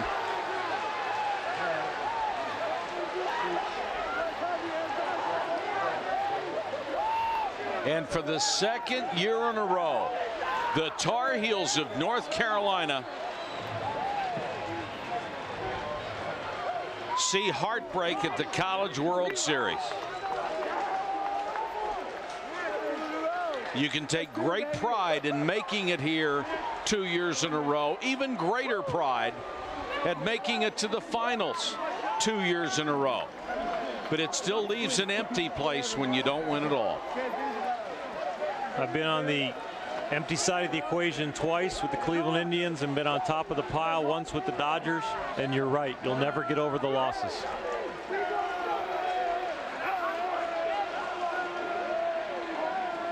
Let's go down to Erin. She's with Darwin Barney. Mike, thanks so much. Your second straight dog pile, Barney. What's that moment like for you?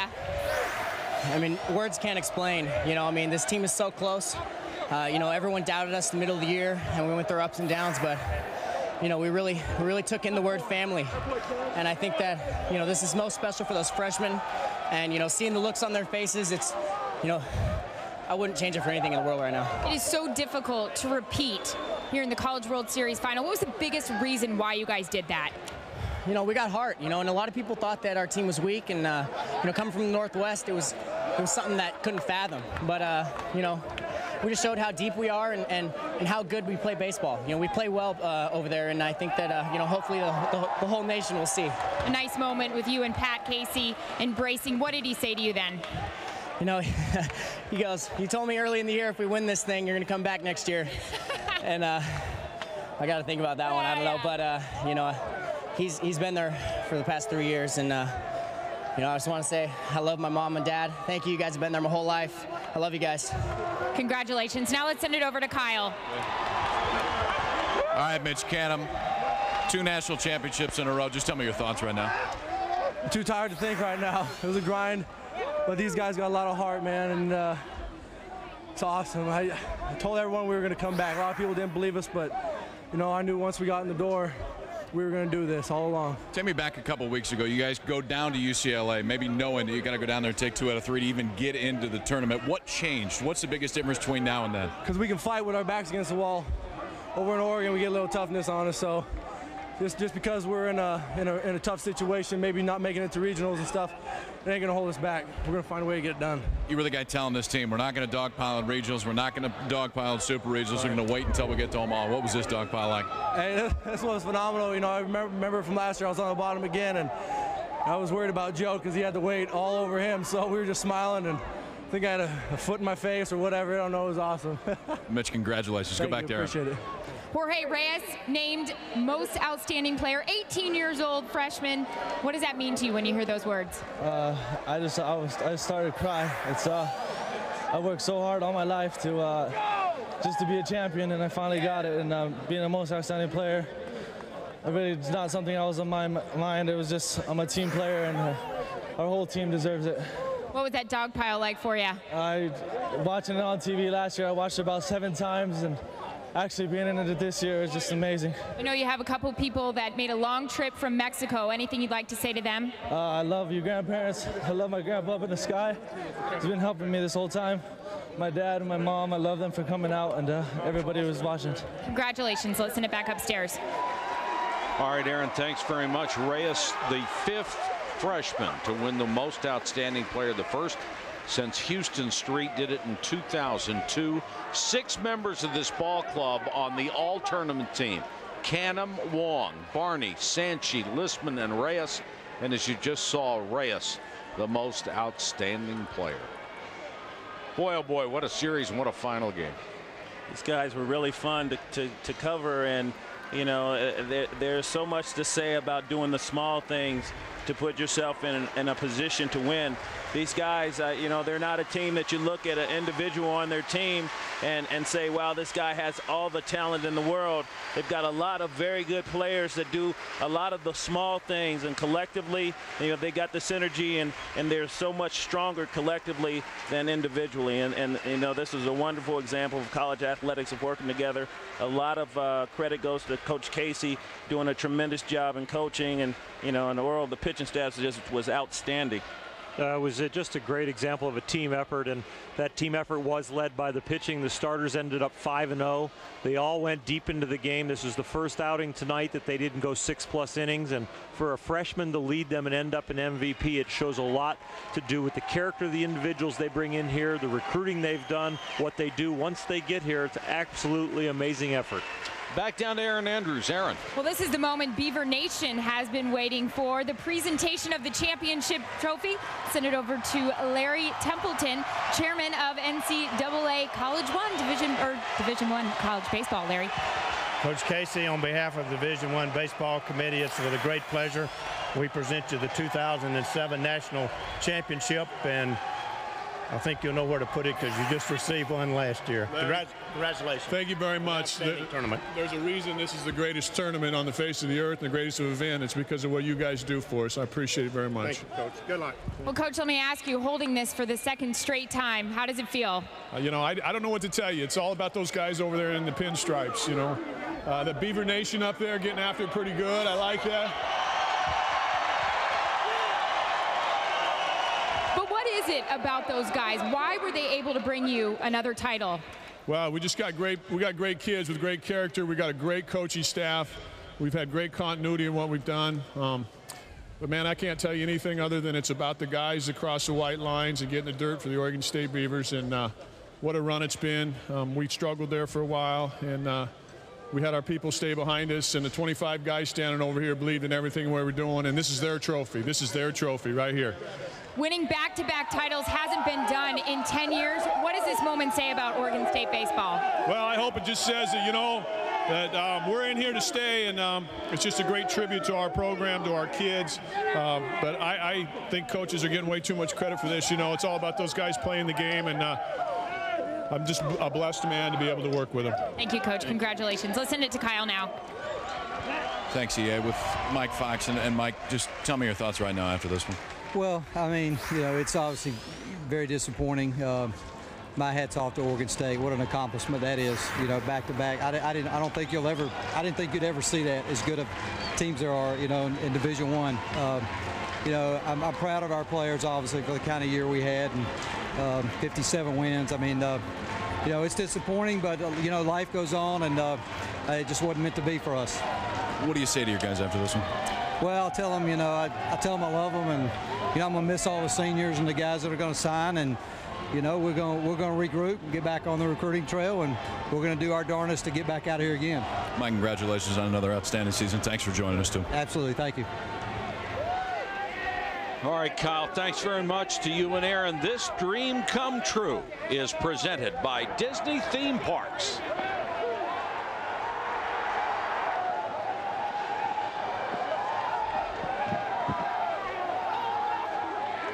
Guys, another tremendous experience here in Omaha. What do you think? I tell you, this is my first time being able to experience this from up in the booth, and I, I just had an absolute blast. A lot, I learned a lot.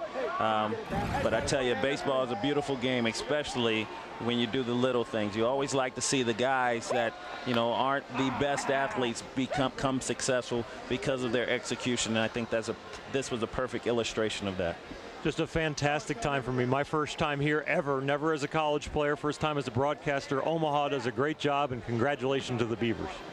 They lay it on the line. I just love to watch them play. The Oregon State Beavers now back-to-back College World Series champions. Next on ESPN2, the ProCare RX NHRA Super Nationals, along with Orel Hershiser, Barry Larkin, Erin Andrews, Kyle Peterson, and our entire ESPN crew. This is Mike Patrick. Thanks for watching. This has been a presentation of ESPN, the worldwide leader in sports. We've had an exceptional time here. We leave you with some of the great moments of the 2007 College World Series.